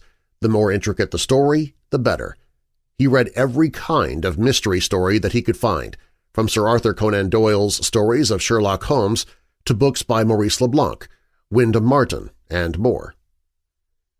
In October 1917, just three months past his 12th birthday, Richard entered the freshman class at University High School, which was adjacent to the University of Chicago. The school had been created by John Dewey as a way to overturn the traditional methods of teaching. There was no rote learning or memorization. It was a new idea that was meant to encourage innovation, initiative, and experimentation. Dewey believed that students should be educated in the way that best prepared them for daily life, so students at University High were expected to solve practical problems creatively and in cooperation with their classmates. Thanks to this, the first two decades of University High were filled with creative activity both inside and outside the classroom. The University of Chicago took special pride in the high school and offered resources and financial support to make it successful. In 1917, there were 500 boys and girls enrolled at University High. Many of them were sons and daughters of university professors.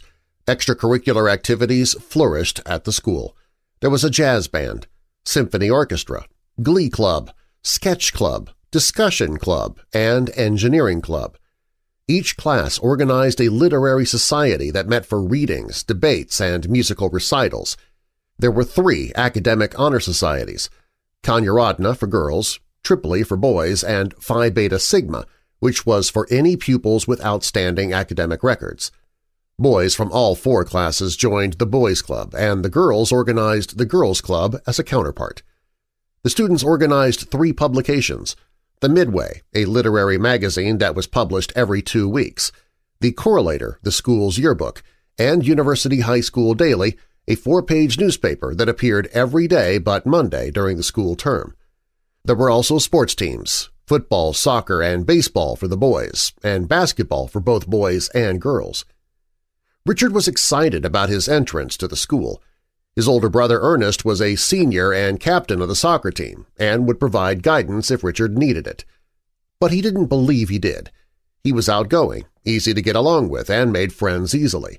He had no particular talents that set him apart from his classmates. He was not inclined towards sports and played no musical instruments, but he was likable and engaging and soon became popular. He joined the discussion club and the engineering club, two groups that recruited members from all four classes. Predictably, the upperclassmen dominated the affairs of both groups, and Richard attended the meetings sporadically during his freshman year and said very little. He reserved his enthusiasm for the meetings of the Freshman Literary Society and threw himself into it wholeheartedly. There was rarely a meeting that went by without his contributions. He was an excitable presence, always volunteering his thoughts and remarks, and perhaps for this reason it was such a cruel disappointment when he narrowly lost the election for Freshman Literary Club president to Henry Apt. His election loss was the sole blemish on an otherwise successful year. Everyone liked Richard. He was one of the most popular boys in the class. Teachers liked him because he did so well in his studies and participated in class. In January 1918, at the start of the winter term, he was elected as treasurer of the freshman class, and in February he helped organize the freshman-sophomore dance. Like everything else he was involved in, it was a huge success.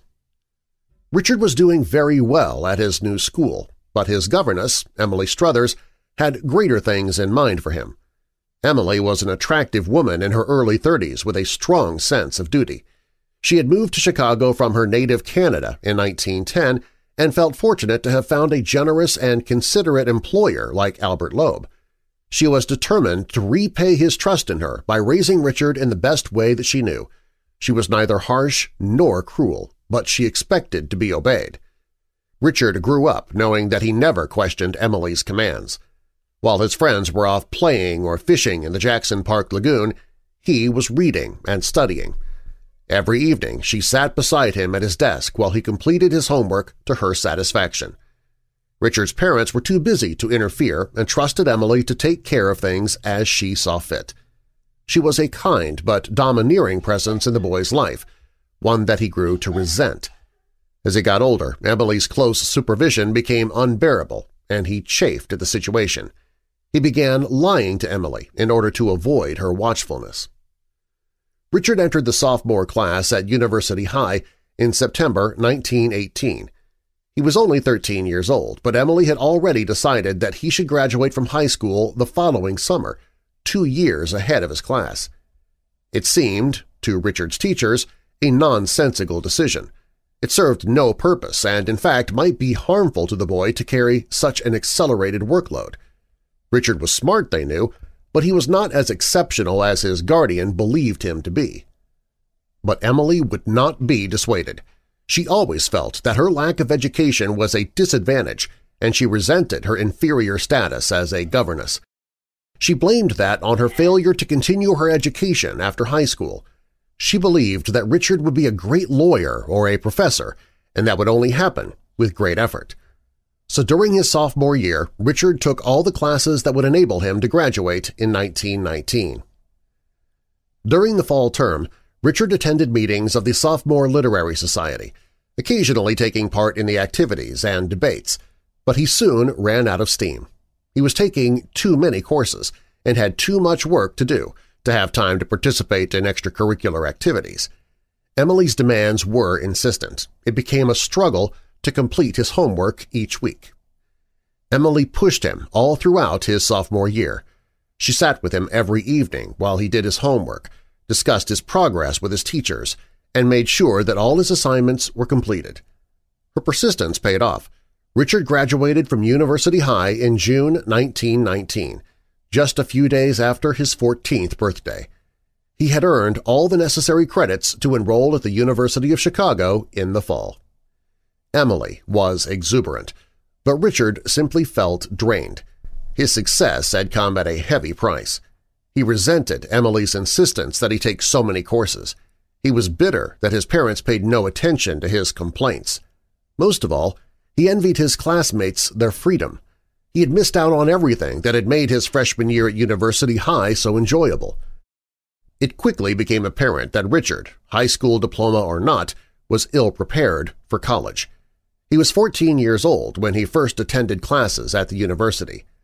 Most of his classmates were three, four, even five years older than he was. Richard struggled to keep pace with the demands of the college curriculum. He worked hard during his first year. Emily continued to supervise his work, but Richard was a mediocre student and his grades were disappointing. Even in history, his favorite subject, he performed dismally. It became an inauspicious start to his college career, and Emily, who had played such an important part in Richard's life, left the Loeb household in the summer of 1920 after his parents decided that Richard, now 15, no longer needed a governess. Emily had made some poor decisions, but she had been a constant source of emotional support in Richard's life. Without her steadying presence, Richard, by his own admission, went off the rails. As he later said, when she left, I sort of broke loose. It was the same summer that Emily left that Richard became friends with Nathan Leopold, an awkward, self-conscious, shy boy with no self-confidence who had attended Harvard School. Nathan would also begin at the university that fall. Richard had the advantage of already having spent a year at the University of Chicago, and the two young men bonded over Richard's explanation of what his new friend could expect in the coming semester. They became close, despite the vast differences between them. Richard was outgoing and sociable, while Nathan was backward and aloof. Richard impressed people with his easy charm, his sense of humor and pleasant manner. Nathan, who had an air of disdain and arrogance about him, seemed to be exactly the opposite. Almost immediately, those who met him didn't like him. They seemed, to all appearances, to have nothing in common. Richard, without Emily, now had no reason to devote all his time to his studies. He had hoped to join a fraternity, but none of the Jewish fraternities on campus had taken his pledge because he was too young. Early in his sophomore year, he joined the Campus Club, a social organization for students who hadn't yet pledged a fraternity. Members of the Campus Club copied the rituals and rites of fraternal groups and sponsored dances and events, but it was a poor imitation of the real thing. For Richard, as it turned out, the Campus Club was a bore. He preferred to spend his evenings drinking and gossiping with friends at one of the speakeasies on the south side. The Granada Cafe on 65th Street was popular with college students, or picking up girls at the Trianon Ballroom, a dance hall at 62nd Street and Cottage Grove Avenue. Richard's friendship with Nathan was a puzzle. No one could understand why they were such close friends. They had no shared interests. Nathan never accompanied Richard when he went out drinking or joined him when he was out picking up girls. Nathan just seemed to want to graduate from the university as quickly as possible. He spent all his free time studying. He made such good grades that the university awarded him advanced standing. He was not the best or the most brilliant in his class, but he was hardworking and determined to make his mark. It had never been easy for Nathan to make friends, and he was delighted to have Richard's companionship. There was so much to admire about him. He was friendly, good-looking, and had a sophistication and worldly knowledge that Nathan envied. As Nathan got to know him better during the winter quarter, he began to realize that Richard led a secret life. Perhaps if he'd not been so anxious to obtain and keep Richard's friendship, he might have noticed Richard's purposeless, destructive behavior sooner but he didn't. By the spring of 1921, though, he had fallen in love with Richard. There was now nothing that he wouldn't do for him, so when Richard devised a plan to cheat at cards, he readily went along with the scheme. It was not for the money – both boys received generous allowances from their fathers – but for the sheer thrill of the experience. There was great pleasure in doing something wrong and, most importantly, getting away with it. When Richard started suggesting other adventures, Nathan went along with them, even if he did not fully share his friend's enthusiasm. Some evenings Richard would have too much to drink and would insist that they find some deserted street close to campus. And while Nathan waited in the car, the engine running, Richard would smash the windshields of parked cars with a brick. But those adventures only whetted Richard's appetite for something more daring. He discovered that the ignition key of his mother's car, a Milburn electric automobile, would fit any Milburn electric. Once he got his hands on a spare key, he started stealing Milburn electrics that were parked on the street. They had some close calls and narrow escapes. Once an owner spotted Nathan and Richard sitting in his car and chased after them.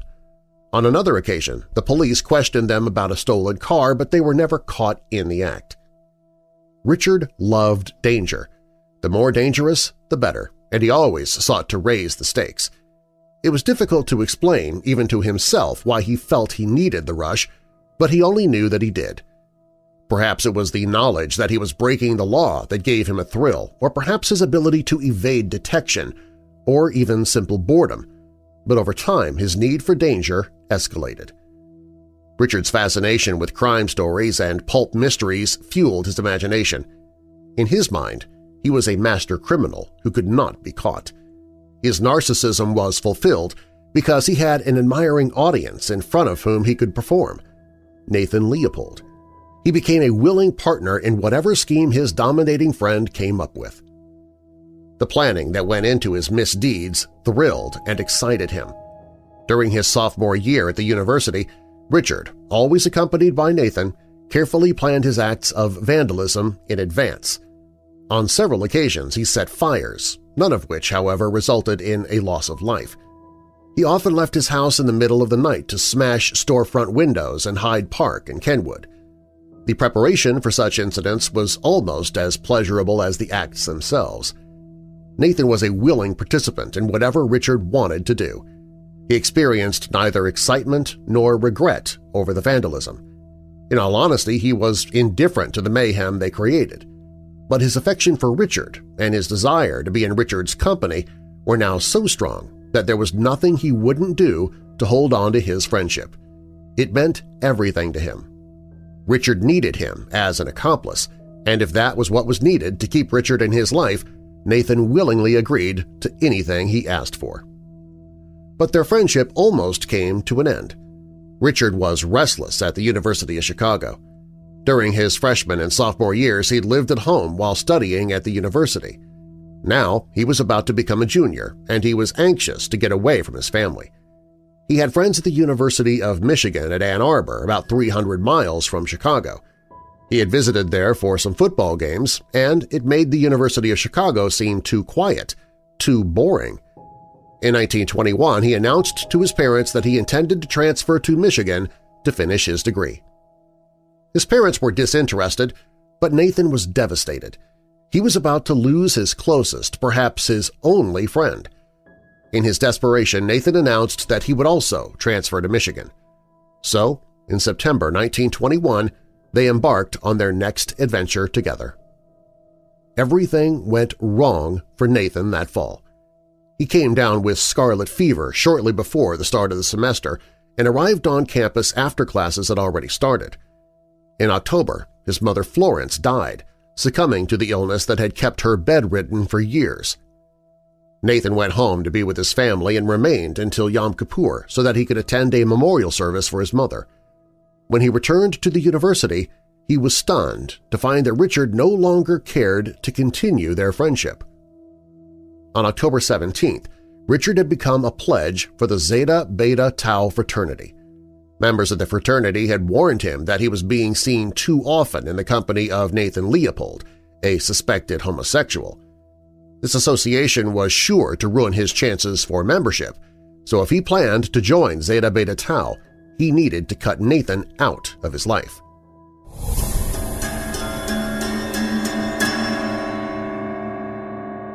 We'll return with more of this story in just a moment on Weird Darkness.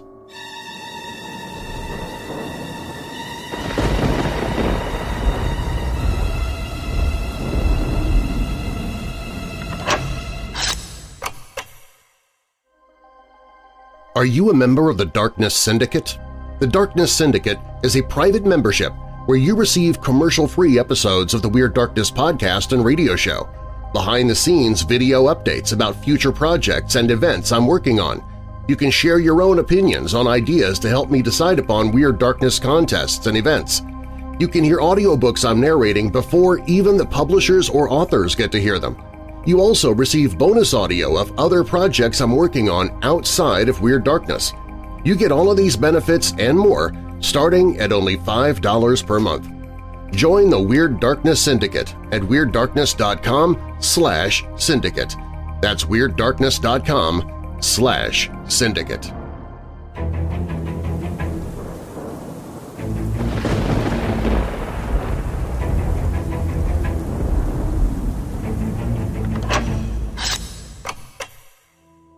Nathan was destroyed by the fact that Richard had abandoned him in favor of the fraternity.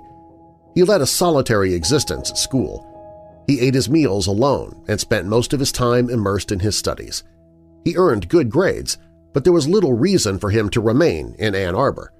So in the fall of 1922, he transferred back to the University of Chicago. It was the best move that he could have made, and his life might have turned out much differently if he hadn't later come back under Richard's influence. During his final year in college, he began to seek out friends and to develop extracurricular interests. He joined the Il Circolo Italiano, a society devoted to the study of Italian culture, and became one of the group's most enthusiastic members. He also joined the Undergraduate Classical Club, a literary society that organized meetings, dinners, and stage productions. He achieved academic excellence, surpassing all expectations in his courses. He distinguished himself by proving worthy of election to Phi Beta Kappa, one of only 15 students from the university to receive the honor in 1923. It was also during this time that Nathan developed an even greater love for ornithology. In his spare time and on weekends, he would drive to the marshland around Wolf Lake near the Indiana state line in pursuit of new bird species to add to his collection. Ornithology had always been a hobby, and yet his studies had become so proficient that during his final year at the University of Chicago he was able to prepare two scientific papers for publication in The Auk, the leading journal for professional ornithologists in the United States. Nathan felt that he had redeemed himself. His stellar academic record during his final year at Chicago, his election to Phi Beta Kappa, his successful graduation, one year ahead of his class, fulfilled the promise that he had made to his mother before her death. He had promised to distinguish himself at the university. And he had. That spring, shortly before graduation, Nathan decided to become an attorney. He planned to enroll at the University of Chicago Law School in the fall. Richard Loeb also graduated in 1923.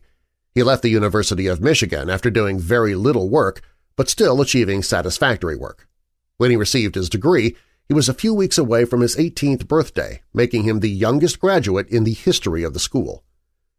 His university career had been lackluster. He had never joined any of the student societies or participated in any extracurricular activities.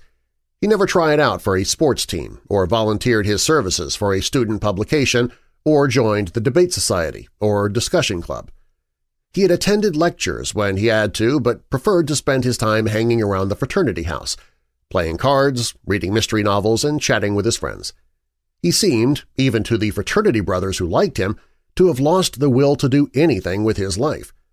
He drank heavily, and he was drunk so often, even in the early afternoon, that it was sometimes difficult to tell when he was sober. His drinking became so bad, and he was so unfocused and eccentric that he became an embarrassment to the fraternity. In his senior year, the executive committee of the fraternity formally censured him for his drunkenness and suspended his privileges as an upperclassman. It was a pathetic conclusion to an inglorious college career. He received his degree but had no plans for the future. But Richard had always enjoyed history, and so, in September 1923, he returned to the University of Chicago for graduate work, taking a course in American constitutional history during the fall quarter.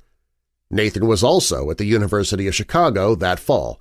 He had received his degree earlier in the year but was taking four law courses that fall. Tragically, it was inevitable that they met again and returned to their toxic relationship. Within days, Nathan was once again enthralled with Richard. He fell in love a second time and found Richard willing to indulge Nathan's desires.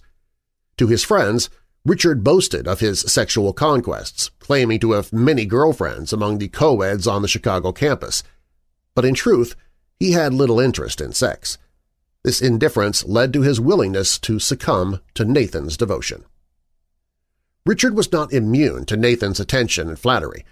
It was true that Nathan was annoyingly egotistical. He could spend hours bragging about his supposed accomplishments, and it quickly became tiresome to listen to his untrue boast that he could speak 15 languages. Nathan also, in Richard's opinion, had a tedious obsession with the philosophy of Friedrich Nietzsche and would talk endlessly about the mythical Superman who stood outside the law, beyond any moral code that constrained the actions of ordinary men. Even murder, Nathan claimed, was acceptable for a Superman if the deed gave him pleasure. It was not that Richard had a moral objection to murder.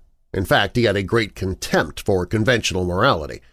But Nathan was pretentious, always yammering on about his intellectual superiority, sneering at the boring, ordinary people who obeyed laws that he chose to disregard. Were such speeches merely to impress Richard, who never had much use for the law when he was vandalizing cars and stores and setting buildings on fire? Or did he actually believe it? It didn't matter to Richard. He was glad to see Nathan finally coming around to his way of thinking. There was no pleasure in committing crimes alone. He needed a companion who would appreciate his careful planning and preparation. Nathan's admiration made it all worthwhile. Richard had been thinking, ever since his return to Chicago in the fall of 1923, about how to commit the perfect crime. He had vaguely thought of kidnapping a young child, which would involve, of course, a ransom demand as an essential part of the plot. Richard knew that to obtain the ransom and still avoid capture would present a challenge like none he had faced before. He couldn't wait to put his plan into action. The plan took seven months to develop. The first step took place in November 1923 when they traveled to Ann Arbor, Michigan, to burglarize Richard's former fraternity house. It was supposed to be a lark with the added challenge that someone might recognize them from their days on campus. But they arrived on the night of one of the biggest football games of the year, the fraternity house was left unguarded, and those who remained in the house were sound asleep, having drank too much during the celebration. They stole penknives, watches, several fountain pens, and about $50 from the pockets of garments hanging in the coat room. It hardly seemed worth the six-hour drive from Chicago to Ann Arbor, but it had been more for the thrill of it than what kind of loot they'd be taking home. As they made their way downstairs and walked across the living room toward the front door, Nathan noticed a typewriter on a writing desk on one side of the room. It was one of the latest models, a portable Underwood. He picked it up and took it with them. It would be useful for typing up his notes from the law lectures. It was on the long drive home from Ann Arbor that the final elements to the perfect crime finally came together. Richard's need to escalate their crimes had become more pressing. They had carried out their robbery without a hitch, but he felt unsatisfied. They needed a more complex crime. It should be ambitious, a perfect crime, and one so intricate and complicated that planning and calculating its flawless execution would be a challenge. They would leave behind no clues for the police and no trace of their involvement – it would stand forever as a crime that was impossible to solve. As Richard outlined his idea for the perfect crime, he grew more excited. They should kidnap a child, he proposed, and to make things more complicated, they would demand a ransom from the child's parents. The money was not important, but it was needed to magnify the seriousness of the crime. They would have to leave directions in order to obtain the ransom, but no clues for the police. They would promise the safe return of the victim, but of course that would never happen. They would have to murder the child. It would be foolish to leave open the possibility that their victim might recognize them at a later date. Would the victim be a boy or a girl? They argued back and forth, going over the benefits of either, and then finally decided that they should kidnap a young boy, perhaps one of the students at the Harvard School, someone whose parents were wealthy enough to pay the ransom. It would be a brilliant crime, they mused, one that would shock Chicago with its daring. They would obtain the ransom, dispose of the body, and leave no clues behind. The police would never catch them. No one would ever know who committed the city's perfect crime. Christmas and the new year came and went. After the holidays, the boys picked up their studies again. Nathan resumed his law courses while Richard attended graduate seminars in the history department. During this time, the details of the kidnapping plan gradually developed. They would lure the boy to their car, render him unconscious, perhaps with chloroform, and drive him to a deserted spot near the Indiana state line. Thanks to his birding expeditions, Nathan knew of a draining culvert that ran beneath the Pennsylvania Railroad tracks, close to 118th Street and Wolf Lake. It would make the perfect hiding place for the body. No one would find it. But how to kill the victim so that they could equally share in the death? It would be easy to pull a bullet through the boy's head, but in that case, Richard claimed, only the one who pulled the trigger would be the killer. Richard was adamant about the fact that they both had to participate in the murder. If both were guilty, then neither would have the advantage of confessing to the police. They should strangle the victim, each with a hand on one end of the rope. Both of them needed to be jointly guilty of murder. In the spring, the details of the plan became clearer. They rehearsed the method by which the ransom would be delivered on April 24th. The plan was to telephone the victim's father and send him to a drugstore at 63rd Street and Blackstone Avenue, adjacent to the local train station. He was to wait there for a call, board the train, walk to the rear carriage and look in the telegraph box for a letter that would instruct him to throw the ransom, securely wrapped in a sealed cigar box, from the train five seconds after passing the distinctive red brick water tower of the Champion Manufacturing Company. They calculated that the package would fall close to 74th Street where Richard and Nathan would be waiting to grab it and make a quick getaway. The rehearsal worked perfectly. Nathan, waiting in his car at 74th Street, watched the train travel above him on the elevated tracks. The package landed as expected, and Nathan snatched it up and drove away. It was foolproof. What could possibly go wrong? The next hurdle to clear was Nathan's car. He drove a very memorable red Willys Knight sports car with nickel bumpers and disc wheels. It was much too distinctive to use for the kidnapping. If anyone saw it, they would certainly remember it, and the police would have little trouble linking Nathan to the abduction. They needed to rent a car, but they couldn't do it under their own names. If the rental car was seen, the police would then be able to trace Nathan or Richard through the rental agency records. They would need a false identity to get a car they could use for the crime. On Wednesday, May 7th, Nathan walked into the Hyde Park State Bank and asked a teller about opening a checking account. He didn't live locally, he said, and had no references in the area. He was a traveling salesman from Peoria. Would that be a problem? The teller thought it seemed like an odd request, but he said that it wouldn't and passed him an information card that needed to be filled out. When completed, Morton D. Ballard made $100 cash deposit into his new account. On that same day, Richard entered the lobby of the Morrison Hotel at Clark and Madison Streets. He carried a suitcase in his hand, which contained four books for the weight, and checked in under the name of Morton D. Ballard. He was given the key to room 1031 and the bellboy took his bag upstairs to his room for him. An hour later, Ballard returned to the desk. He explained that he was a traveling salesman and would only be in Chicago one night but expected to return in a few weeks. There might be mail addressed to him at the hotel. Would the desk be able to keep it for him until his return? The clerk was happy to arrange that for him. Two days later, on May 9th, Nathan walked into the office of the Rent-A-Car Company at 1426 Michigan Avenue. He had $400 cash in his pocket, right next to the passbook from the Hyde Park State Bank made out in the name of Morton Ballard. He explained that he was new to the area. It was the first time he had covered the Chicago area for his employer and needed to rent a car. He had a bank account, but since he was a new customer, he was willing to put down a $400 deposit on the rental. He could also provide a reference, the telephone number of his friend, Lewis Mason, who would vouch for him. Two blocks away, Richard entered a lunchroom at 1352 Wabash Avenue, ordered some food, and told the counter clerk that he was expecting a call. The telephone rang a few minutes later. It was a call for Lewis Mason. Richard gave a sterling reference for his friend, Morton Ballard, assuring the rent-a-car clerk that he was absolutely dependable. The rental agency provided Nathan with the car for that day. He mentioned that he planned to return to Chicago in a couple of weeks and would need a car then. In that case, the clerk replied the company would mail an identification card to his address, the Morrison Hotel. They now had a plan for obtaining the ransom without risking capture and had created a false identity with which to obtain a rental car. They were almost ready. On Tuesday, May 20th, the day before the kidnapping, they purchased the equipment for the murder. Nathan bought writing paper and envelopes for the ransom note and then went to a drugstore at 4558 Cottage Grove Avenue. He asked the owner, Aaron Adler, for a bottle of hydrochloric acid and a half pint of ether.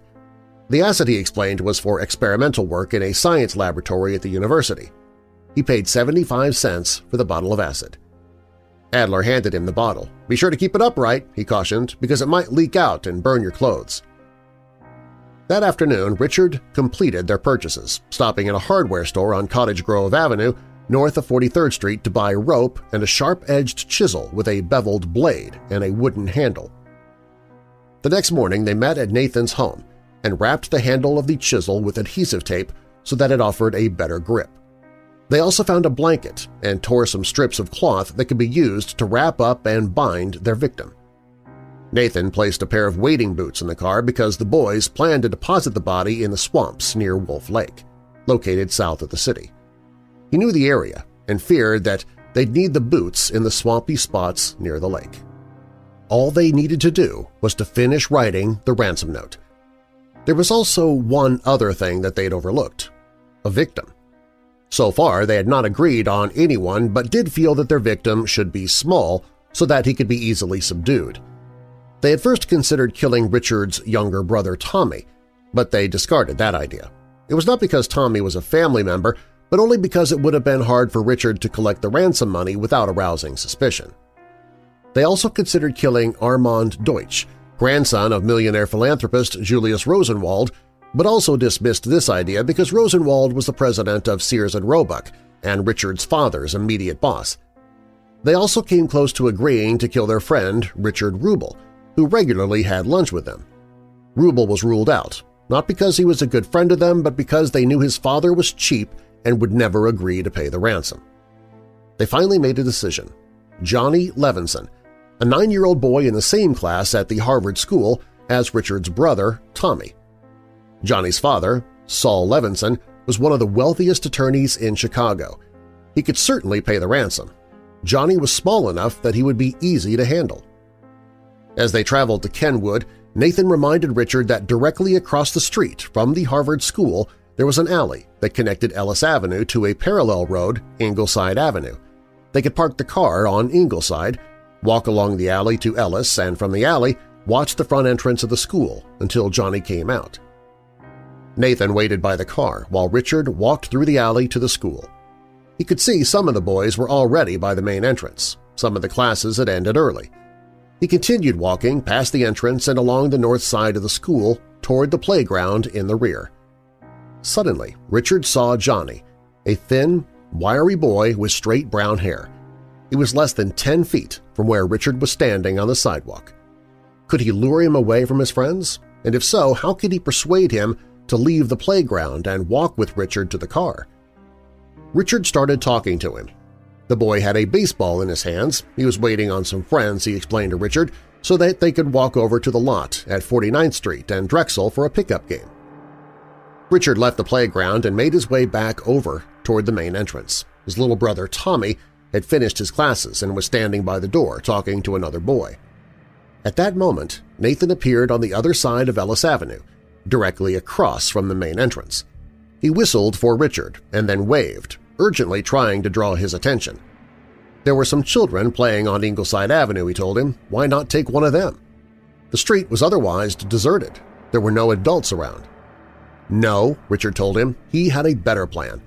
Johnny Levinson was on his way to a baseball game. They could go, watch the game, and then snatch him when he left to go home. But it turned out to be too difficult to watch the game without being seen. They had to be careful. If someone spotted them, and then Johnny was kidnapped, a witness might link them to his disappearance. While Nathan went home to get his binoculars, Richard stopped at the drugstore at 47th Street and Ellis Avenue. He would find the Levinsons' address in the telephone book. Once they knew the street where Johnny lived, they would know the direction that he would take to get home. But by the time they arrived back at the lot, Johnny had left the game.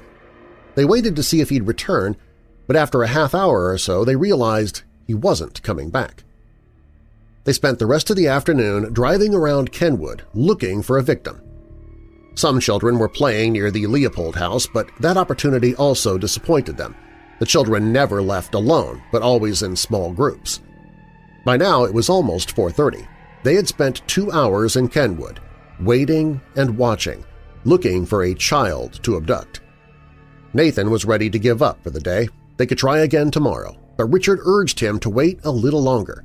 They would drive around the neighborhood one more time. Nathan drove west on 94th Street, turning left onto Drexel Boulevard. Richard sat in the back, behind the front passenger seat.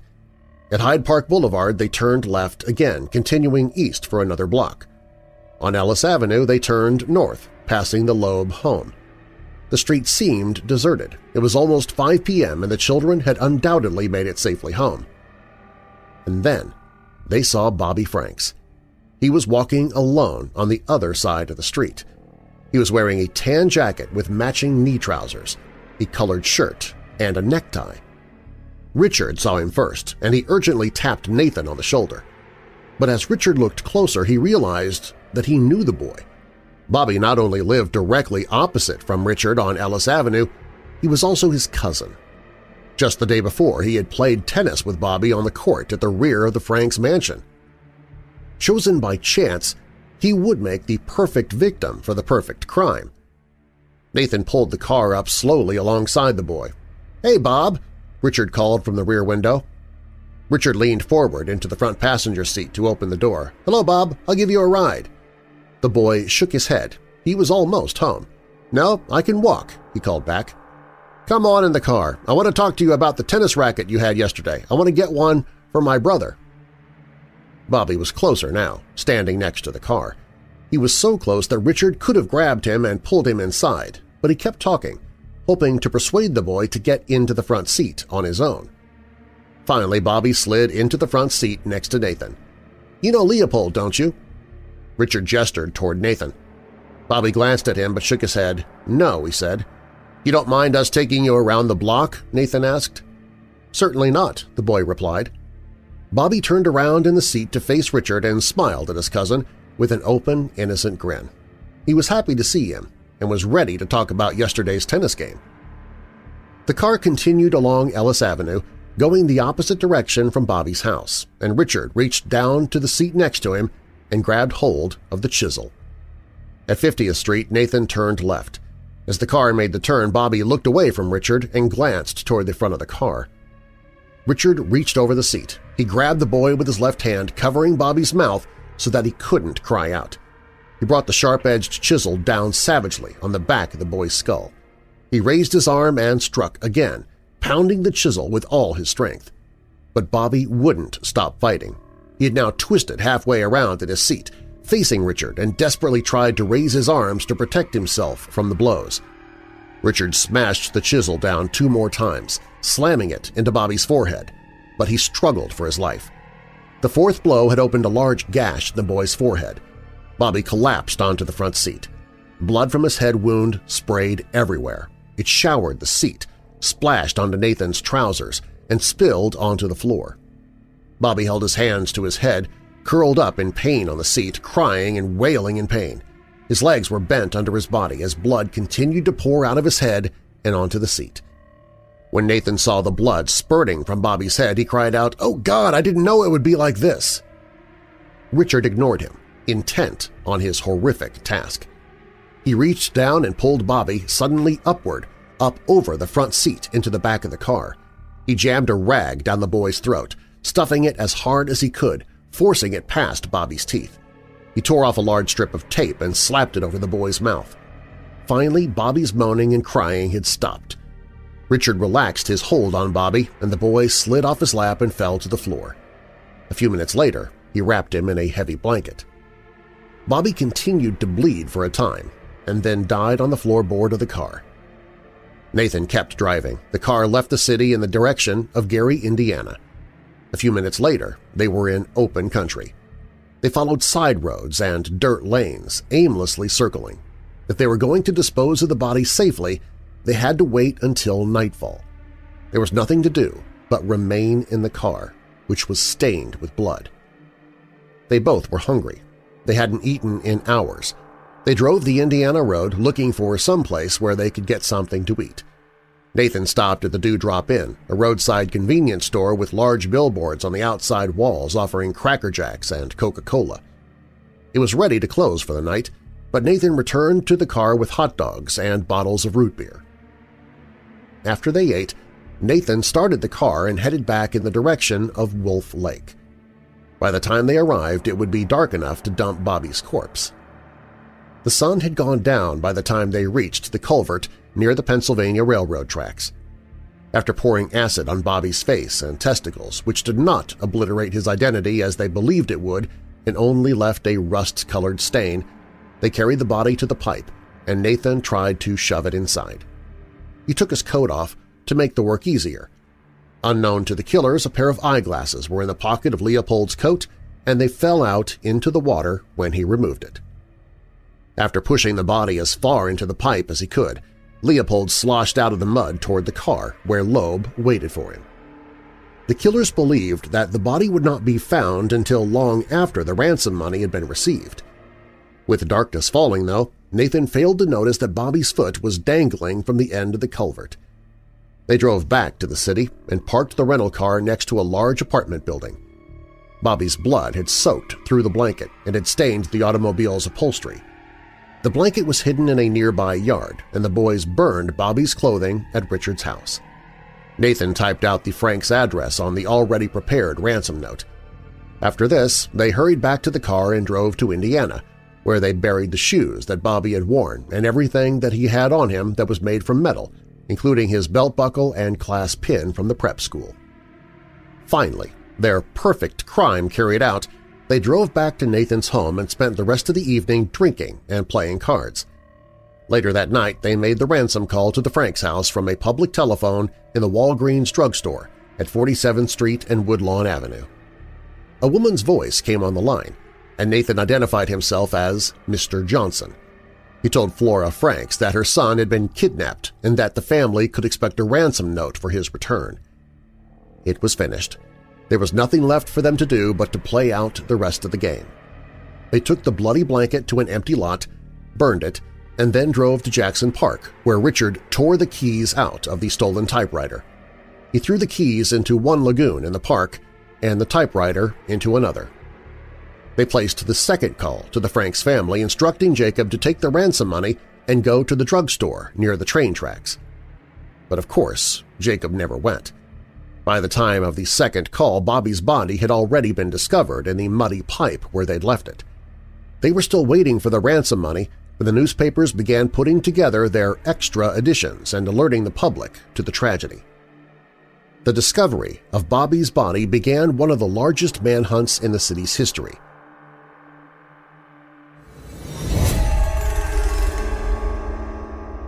Coming up, the conclusion of the perfect murder of Bobby Franks – on Weird Darkness.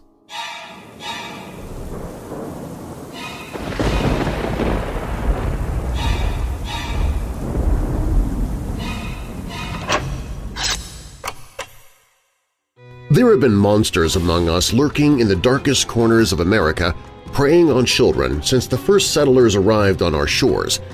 They've always been with us, stalking the innocent from the days of the original colonies to the Gilded Age the Depression, and beyond. These monsters are not the stuff of fiction. They are blood-curdlingly real, and they still walk among us, always looking for their next victim. In the chilling book Suffer the Children, Troy Taylor shines a light on the darkest tales of horror and hauntings from American history and presents a terrifying collection of dark crimes perpetrated against our most tender victims, our children. His most disturbing book yet includes nightmarish tales from the 19th century, when the good old days were never good, like The Monster of the North Wood, The Pocasset Horror, and The Girl in the Cellar, and continues into the modern day with accounts of the Cluxon Woods, America's first school massacre, Wineville chicken coop murders, Babes of Englewood, Suzanne Degnan, the Girl Scout Camp Massacre, the perfect murder of Bobby Franks, and many more. Be warned, this is not a book for the faint of heart. These are tales containing brutal, agonizing, and terrifying scenes of horror. Suffer the Children, American Horrors, Homicides, and Hauntings, Dead Men Do Tell Tale Series Book 15 by Troy Taylor. Hear a free sample on the audiobooks page at WeirdDarkness.com.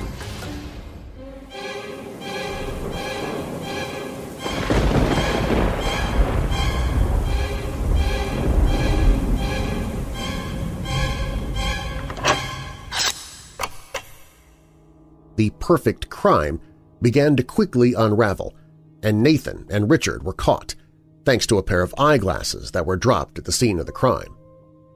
Confronted with evidence of their misdeeds, the two young men of superior intellect quickly confessed to the not-so-perfect crime. In the wake of the confessions, the parents of the two killers turned to Clarence Darrow, America's most famous defense attorney, in hopes that their sons might be saved. For $100,000, Darrow agreed to seek the best possible verdict that he could, which in this case was life in prison. While the state is trying Loeb and Leopold, Darrow said, I will try capital punishment. Darrow would have less trouble with the case than he would with his clients, who constantly clowned around and hammed it up in the courtroom. The newspaper photographers frequently snapped photos of them smirking and laughing in court, and the public, already turned against them, became even more hostile towards the poor little rich boys. Darrow tried every trick in the book and resorted to shameless tactics during the trial. He declared the boys to be insane. Leopold, he said, was a dangerous schizophrenic. They weren't criminals, he railed, they just couldn't help themselves. After his weighty proclamation, Darrow actually began to weep. The trial became a landmark in criminal law. He offered a detailed description of what would happen to the boys as they were hanged, providing a graphic image of bodily functions and physical pain. Darrow even turned to the prosecutor and invited him to personally perform the execution. Darrow's horrifying description had a marked effect on the courtroom and especially on the defendants. Richard was observed to shudder, and Nathan got so hysterical that he had to be taken out of the courtroom. Darrow then wept for the defendants, wept for Bobby Franks, and then wept for defendants and victims everywhere. He managed to get the best verdict possible out of the case. The defendants were given life in prison for Bobby Franks' murder and an additional 99 years for his kidnapping. Ironically, after all of that, Darrow only managed to get $40,000 of his fee from the fathers of the two young men. He got that after a seven-month wait and the threat of a lawsuit. The verdict was a victory for the defense and a defeat for the state. Guards in the courtroom allowed Nathan and Richard to shake Darrow's hands before escorting them back to their cells. Two dozen reporters crowded around the defense table to hear Darrow's response to the verdict, but he was careful not to sound too pleased. Well, it's just what we asked for, but it's pretty tough. It's more of a punishment than death would have been. As far as Darrow was concerned, he had defeated capital punishment, which was almost more important to him than saving the lives of the two young killers. Nathan Leopold Sr. had already left the courtroom, too overcome to talk to reporters, but Jacob Loeb remained behind to say a few words. We've been spared the death penalty, he said, but what have these families to look forward to? Here are two families whose names here stood for everything that was good and reputable in the community – now what have they to look forward to? Their unfortunate boys, aged 19 years, must spend the rest of their lives in prison. What is there in the future but grief and sorrow, darkness and despair? Robert Crowe was furious at the judge's decision, believing that no two defendants deserved the death penalty as much as these two criminals had. It was a bitterly disappointing verdict, and in his statement to the press, Crowe made sure that everyone knew who was to blame. When the state's attorney arrested the defendants, he solved what was then a mystery, and by the thoroughness of the preparation of the case, the state's attorney forced the defendants to plead guilty, presented a mountain of evidence to the court and made his arguments. The state's attorney's duty was fully performed. He is in no measure responsible for the decision of the court. The responsibility of that decision rests with the judge alone. The defense had spoken, as had the families of the defendants. The state's attorney had made his excuses for the outcome of the trial, but in all of this everyone seemed to have forgotten the victim. Had the state found justice for Bobby Franks? His father spoke to reporters later that day. He was pleased that it was over and happy that there would be no appeal of the verdict. Jacob told reporters, there could be no hearing in regard to their sanity. There could be no appeal. There can be no more torture by seeing this thing spread over the front pages of the newspapers. It will be easier for Mrs. Franks and for me to be relieved of the terrible strain of all this publicity. But was it truly over? No, and not for many years to come. Neither Richard nor Nathan had ever expressed any remorse for the murder, and neither thought to use their final interview with reporters to apologize to Bobby's family, or to anyone else. Nathan, in his cell at the county jail, was his usual arrogant self, he called to Sheriff Peter Hoffman with one final request. Go out, he ordered him, and get us a big meal. Get us two steaks. He held out his thumb and forefinger, that thick. Yes, and be sure they're smothered in onions, Richard added, and bring every side dish you can find. This may be our last good meal. Nathan still had one more thing, and bring chocolate eclairs for dessert. By 8 p.m., Nathan was fast asleep on his bunk. Richard sat reading on the edge of his bunk smoking a cigarette, occasionally looking up at the guards patrolling the corridor. Detectives had been stationed in the main lobby of the jail while uniformed police, in addition to the jailers, kept watch on the hallways and corridors.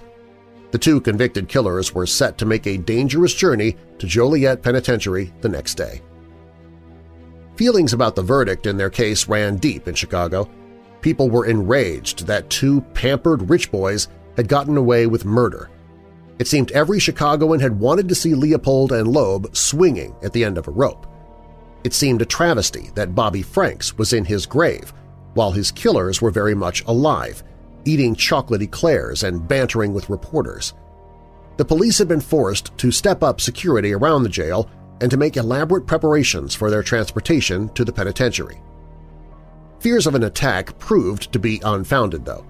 A three-car convoy, including a Packard limousine in which Nathan and Richard traveled, made the journey to Joliet. As they approached the high stone walls, they saw a huge crowd outside at the gates. As the cars approached, a roar of recognition went up from the mob. There was no time to waste getting Richard and Nathan into the prison. The gates clanged shut behind them, and the locks turned to shut out the rest of the world. The prison first opened in 1858 was a forbidding place. Richard stumbled on a paving stone as he stepped out of the car but quickly caught himself. We'll never know what he was thinking when he looked over the massive walls, metal gates, looming towers, and the prison guards that stared silently down at them with rifles in their arms, but it must have been intimidating. The warden, John L. Whitman, received their confinement papers from the Cook County Sheriff, who turned to leave for the ride back to Chicago. It was 8.30 p.m., and there was no time that night for the customary procedures – photographs, medical history, paperwork, so it all had to wait until morning. Three guards escorted the prisoners across the jail yard and to the isolation block for new prisoners. They had 10 minutes for a shower in the bathhouse, and then they received a new set of clothes. Richard discarded his golf sweater and gray flannel trousers, and Nathan removed his suit jacket and trousers they changed into the standard prison uniform of a denim jacket and pants. They were taken to their cells. Nathan at the east end of the block and Richard as far away from him as possible at the other end of the corridor. They were soon fast asleep, and they spent their first night in Joliet peacefully. It was the first night of many to come. Time passed, and Nathan and Richard grew accustomed to the daily monotony of prison routine. The guards placed Nathan in a cell in the east wing of Joliet Prison and mindful that the two murderers be kept as far apart as possible, sent Richard to the other side of the penitentiary. He was locked in a cell in the west wing. The prison, after nearly 70 years, was a crumbling wreck. An unhealthy, unpleasant stench permeated the cell blocks, and each individual cell, dank, dark, and claustrophobic, was the worst space that one could imagine. There were no flush toilets, and in the morning, before breakfast, each prisoner carried his waste in a bucket to a large trough in the prison yard. The cells had been designed with windows so narrow that there was little natural light.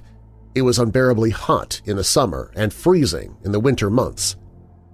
Nathan remained at Joliet Prison only until May 1925, when he obtained a transfer to the new prison, Stateville, three miles north of the town of Joliet. The Stateville prison, built in anticipation of the closure of Joliet Prison, consisted of four roundhouse buildings, each with an open tower in the center of a large space that was surrounded by a circular arrangement of cells. The guards in the central tower always had a good view of the prisoners in their cells. Stateville was one of the most modern penitentiaries in the country, but there was little discipline within the prison. The Illinois state legislature had provided funds to build the prison but had not provided a decent wage for the guards. As a consequence, corruption was rampant. A convict with money could buy any privilege that he desired, and by the early 1930s the prison administration was no longer in control of the place. The inmates, as the adage went, truly were running the asylum. A dozen rival gangs competed for control of the prison. Each gang had constructed a motley collection of tar paper shacks in the prison yard as its headquarters.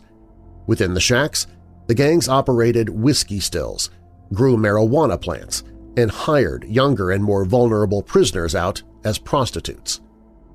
In March 1931, Richard was also transferred to Stateville. Neither joined one of the many gangs operating behind prison walls, but thanks to their wealth, they soon gained influence over other prisoners and curried favor with prison officials.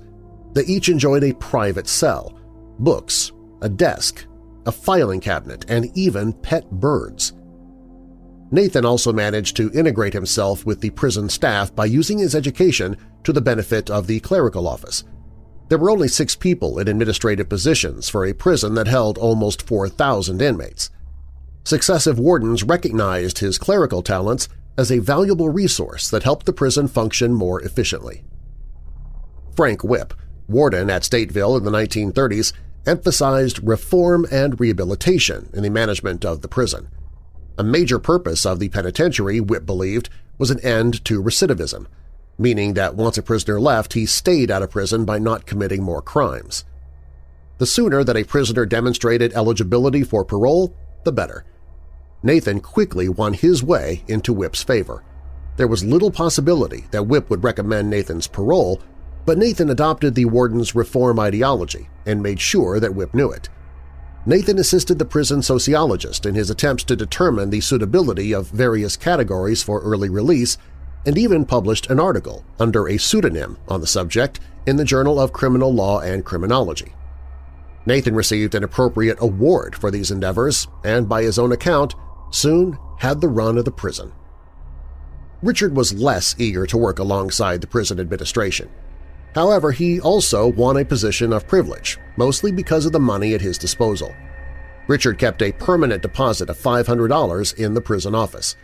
This money, provided by his brothers, was available for his personal use at any time.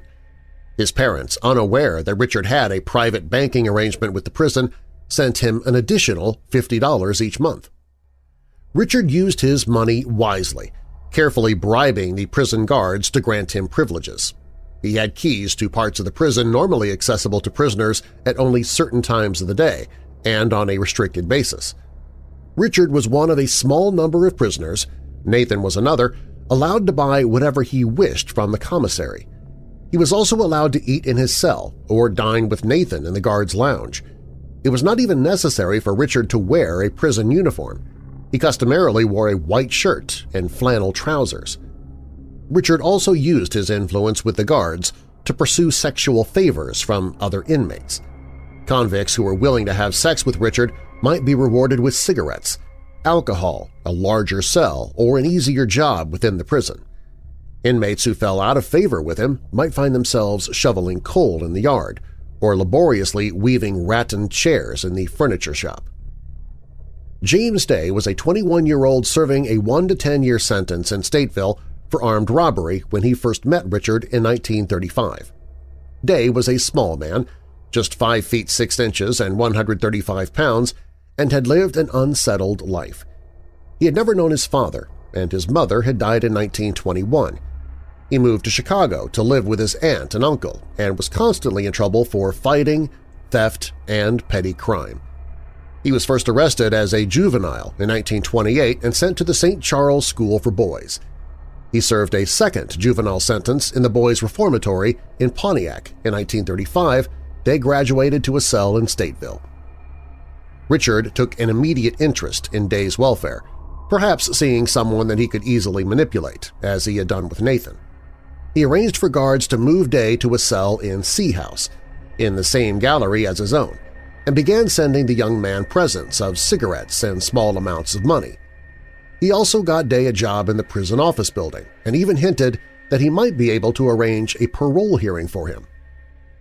It was a calculated scheme on Richard's part to put Day into a dependent position so that he would agree to have sex with him. Day resisted, but Richard was persistent. He reminded Day that he might lose all his privileges if he didn't submit. Wouldn't it be easier, he asked, if he just went along with what Richard wanted?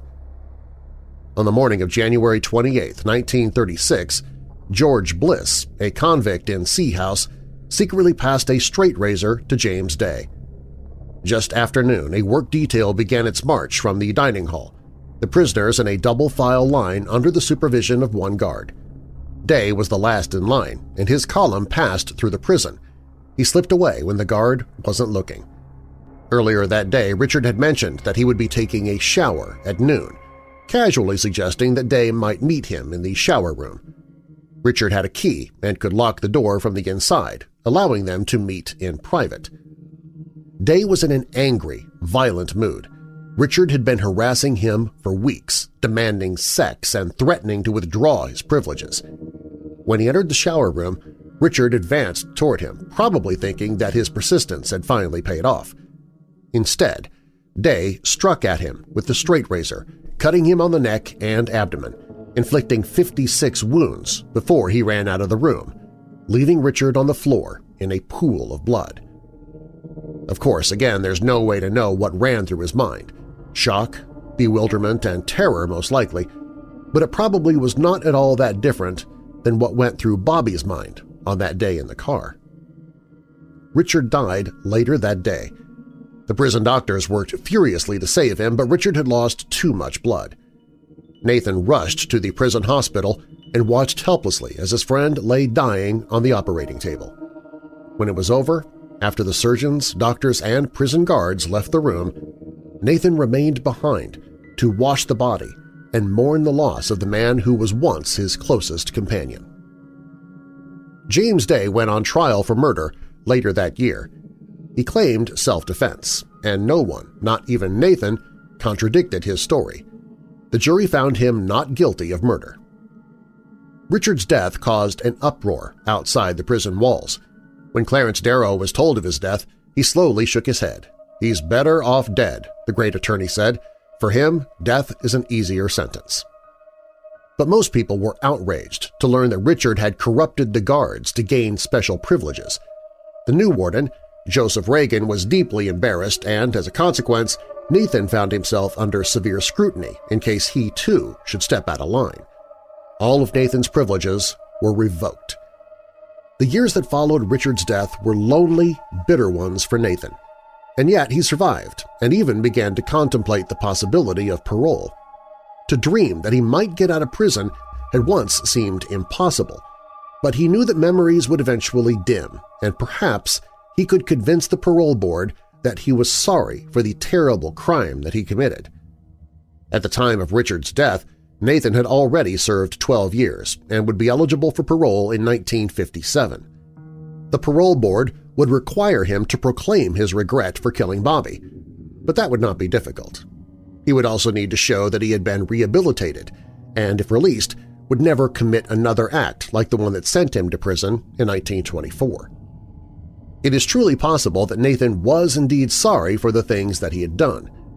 Even though it had been his talk of superior intellects that were above the law that had inspired Richard to begin planning a perfect murder, Nathan, as arrogant as he was, would have never gone through with it on his own. Perhaps neither of them would have. But if we recall, the year that Nathan spent separate from Richard, attending the University of Chicago while Richard was in Michigan, we get a glimpse of the man that Nathan could have been without the horrible codependent relationship that he had with Richard Loeb. Of course, this didn't change the fact that Nathan had committed a heinous murder or that he had a long way to go to redeem himself.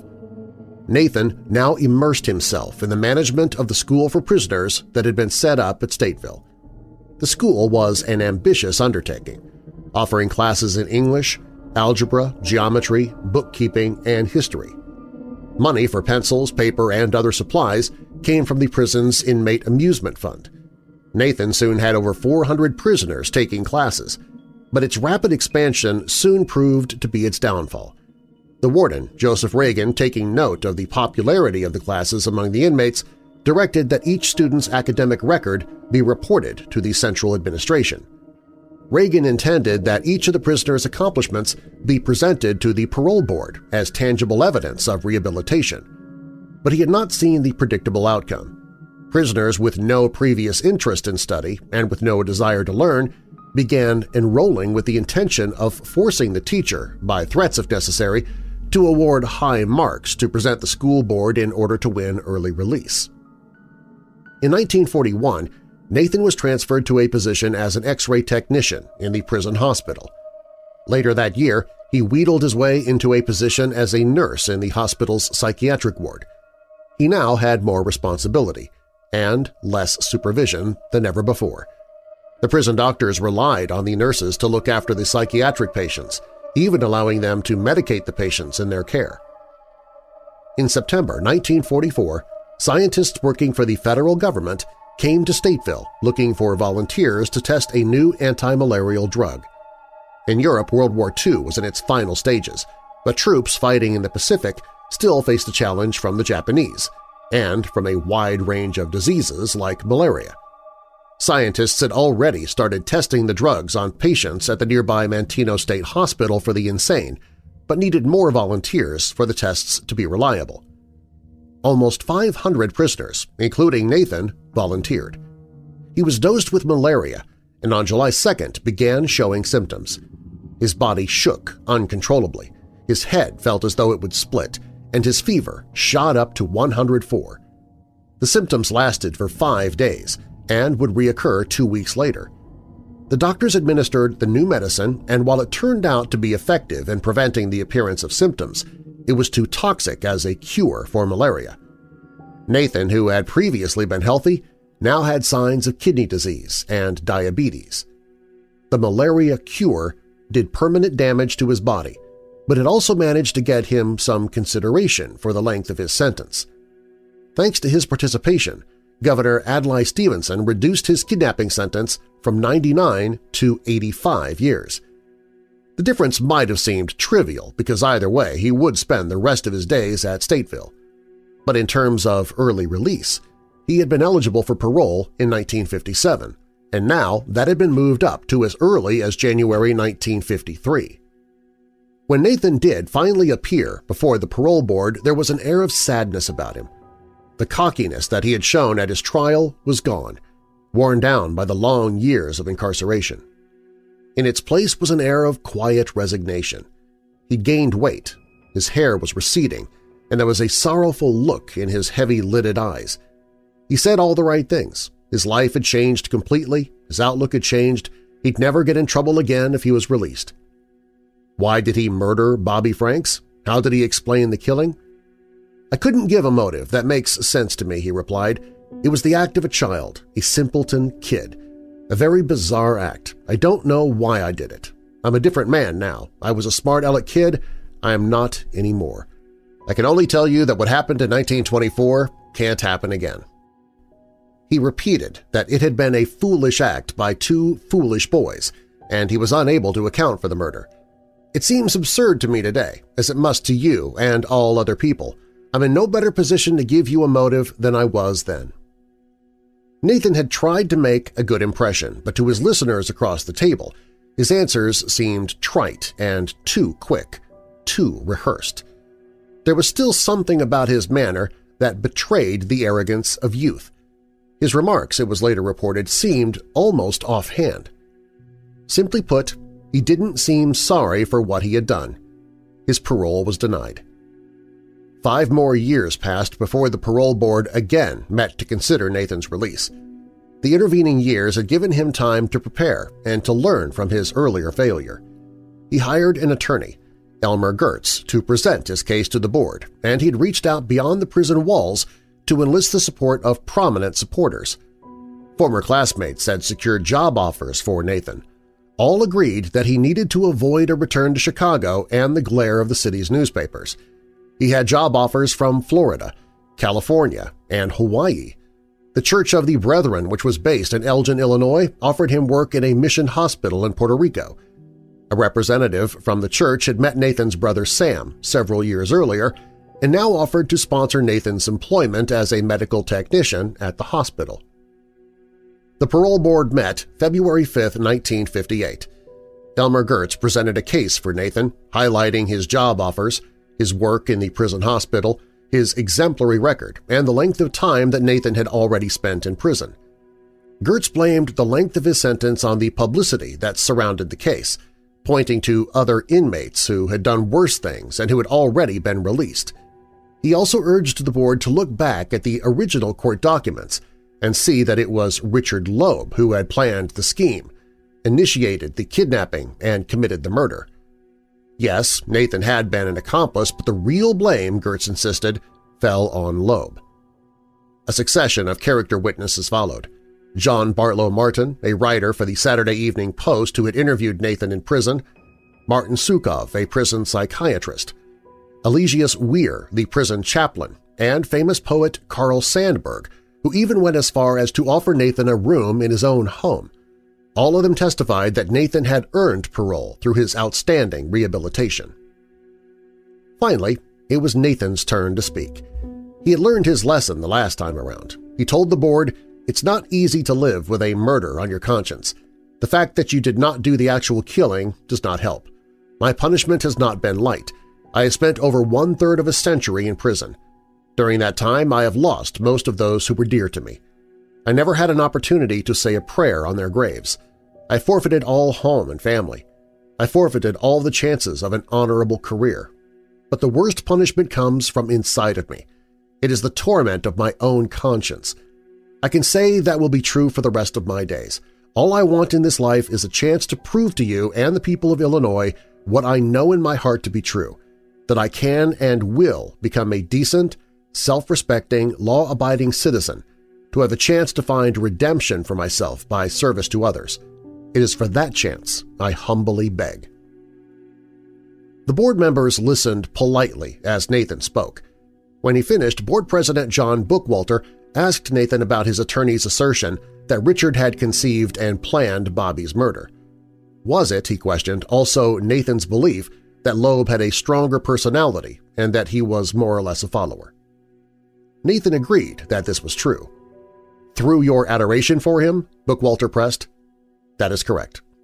As you sit here today, don't you take an equal share of blame for this? Definitely. You're not trying to place it on him. Believe me, Nathan replied, it's not easy to try and push blame on a man who is dead.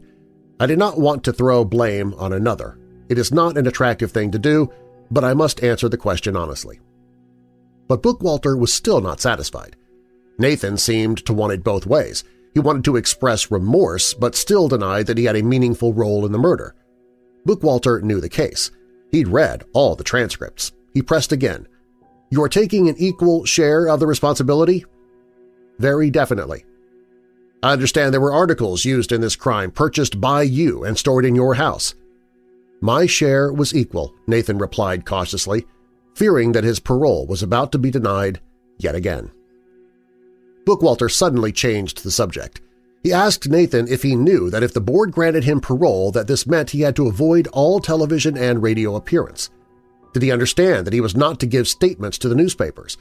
Every media outlet in the country would want an interview with him. Nathan hastily replied, I don't want any part of lecturing, television, or radio or trading on notoriety. This is the last thing. All I want, if I'm so lucky as to ever see freedom again, is to try to become a humble little person. On February 20, 1958, the board announced that they had agreed to parole Nathan Leopold. He was released three weeks later, on March 13th. He walked out of Stateville to confront a mob of newspaper reporters, television crews, and photographers. He looked around nervously as they shouted questions at him. His voice quavered as he spoke into a microphone. I appeal as solemnly as I know how to you and your editors to agree that the only piece of news about me is that I have been ceased to be news. I beg, I beseech you and your editors and publishers to grant me a gift almost as precious as freedom itself, a gift without which freedom ceases to have much value, a gift of privacy. Give me a chance, a fair chance to start life anew. It was a meaningless appeal. The crowd pushed forward, shouting again. Elmer Gertz gently pushed Nathan away from the microphone and toward a waiting car. Its engine was running, and the driver was ready to make a quick exit. The reporters immediately reacted, rushing to their own cars so that they would not be left behind. Nathan was taken towards Chicago, running with scores of other cars in pursuit. Ralph Newman, one of his closest friends, had offered his home in Oak Park, west of the city, as a temporary refuge. But within minutes of his arrival, Nathan looked out a window to see dozens of reporters on the street. He was given a police escort into Chicago where he planned to stay at an apartment on Lakeshore Drive with a college friend, Abel Brown. But it became impossible for him to stay even a few days in the city. He had hoped to visit the graves of his parents, but journalists had discovered his hiding place and camped outside, waiting for him to leave the apartment. He had no choice but to leave immediately. He had accepted the job in Puerto Rico and knew that only after he had left the United States would he find peace. The tranquility of the town of Castaner on Puerto Rico was a welcome change from Chicago. High in the mountains, it was an idyllic spot. Nathan spent his days peacefully working as a medical assistant in the hospital, enrolling as a graduate student in social work at the University of Puerto Rico, and making new friends. But the past refused to leave him alone. Meyer Levin, a contemporary of Nathan and Richard at the University of Chicago, had written a novel called Compulsion based on the murder. The book was overwrought, exaggerated, outlandish, and the character based on Nathan was far from flattering. Now Nathan learned that 20th Century Fox was making a film of the novel starring Orson Welles. Nathan decided that this was an invasion of his privacy, and in October 1959 he instructed Elmer Gertz to file suit against Levin and the film production company, Darryl F. Zanuck Productions, for the appropriation of the name, likeness, and personality of Leopold and conversion of same for their profit and gain. To most people, the lawsuit seemed insane. One of the most notorious murderers in American history was now complaining that a fictionalized account of the crime was appropriating his name? Leopold had filed suit for $1.4 million in court. If he collected, would he not in fact profit from his crime? Meyer Levin, who had publicly supported Nathan's parole, was indignant that his generosity was rewarded with such ingratitude. The case wound its way endlessly through the courts, eventually reaching the Illinois Supreme Court in 1970. There, it was finally dismissed. Meyer Levin spent tens of thousands of dollars in his defense. In the decade of legal wrangling over the case, no publisher would reissue Compulsion after its initial print run for fear of incurring damages if the courts decided in favor of Nathan. While the lawsuit was taking place in Chicago, Nathan was still living peacefully in Puerto Rico.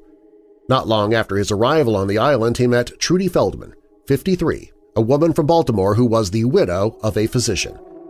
In October 1961, after obtaining permission from the parole board, the two were married in Castaner.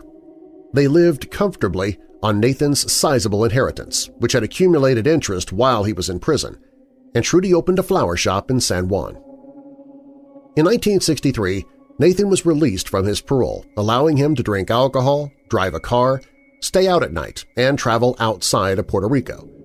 Neither Trudy nor Nathan had seen much of the world, so they traveled widely in the 1960s, visiting Europe, South America, Asia, and the Middle East. Nathan returned to Chicago often to see old friends, visit his old neighborhood, and place flowers on the graves of his parents and two brothers.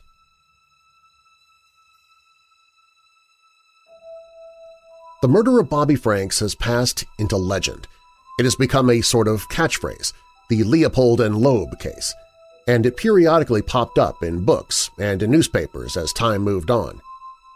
Nathan wrote his account of the story in a book called Life Plus 99 Years and continued to be hounded by the press for his role in the perfect murder that he had committed decades before. He stated that he would be haunted by what he had done for the rest of his life. He died of a heart attack on August 29, 1971, bringing his story to an end. It also brought an end to another story that had been taking place since 1924, a sadder and more tragic one than the alleged rehabilitation of Nathan Leopold. The conviction of Nathan Leopold and Richard Loeb did not, according to many people, bring an end to the terrible case of Bobby Franks. This belief has been supported by the accounts of a restless spirit that continued to walk for many years after the two killers were safely locked behind bars. That spirit, the accounts stated, was Bobby Franks, who took nearly 50 years to find peace. During those decades, Visitors to Rose Hill Cemetery on the north side of Chicago often reported seeing the ghost of a young boy standing among the stones and mausoleums in the Jewish section of the graveyard. It is there where the Franks family mausoleum is located, although its location is not listed on any maps of the cemetery and employees are instructed not to point it out to curiosity seekers. This is a tradition that dates back all the way to the 1920s when the family so desperately wanted to avoid publicity from daily stories that appeared in every newspaper in the city. Even so, people found the tomb within the confines of the beautiful burial ground, and starting in the late 1920s, maintenance workers and visitors alike encountered the ghostly boy. It was, they all believed, the spirit of Bobby Franks, unable to rest in the wake of his bloody and violent death and perhaps restless because he did not feel that justice had been served in his case. The boy continued to be seen wandering for years. He was always reported from a distance, though. Whenever he was approached, the apparition would vanish. These sightings continued for years, but eventually they came to an end in 1971. Encounters with Bobby's spirit ended at almost exactly the same time that Nathan Leopold died in Puerto Rico. Coincidence? I prefer to think it's not. I'd like to think that it means that poor Bobby Franks was finally able to find some peace on the other side.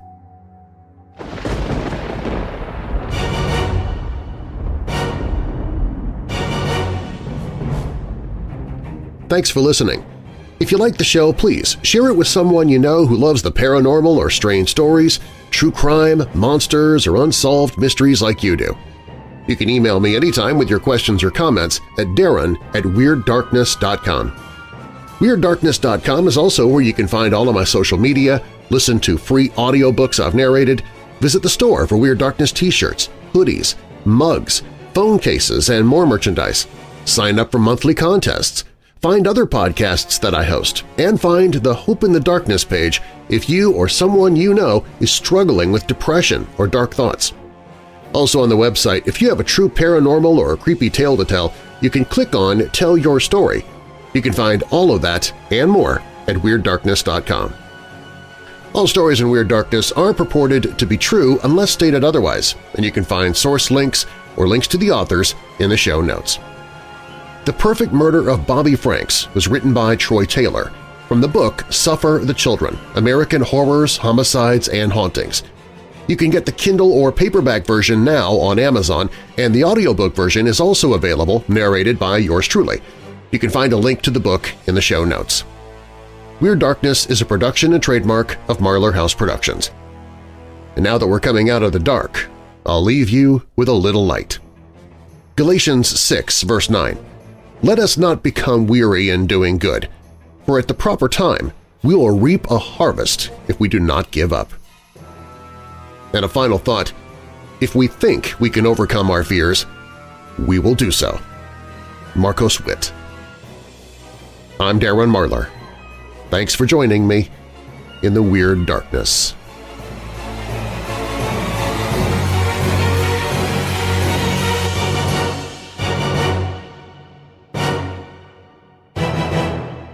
Hey Weirdos! Be sure to click the like button and subscribe to this channel, and click the notification bell so you don't miss future videos. I post videos seven days a week. And while you're at it, spread the darkness by sharing this video with someone you know who loves all things strange and macabre. If you want to listen to the podcast, you can find it at WeirdDarkness.com slash listen.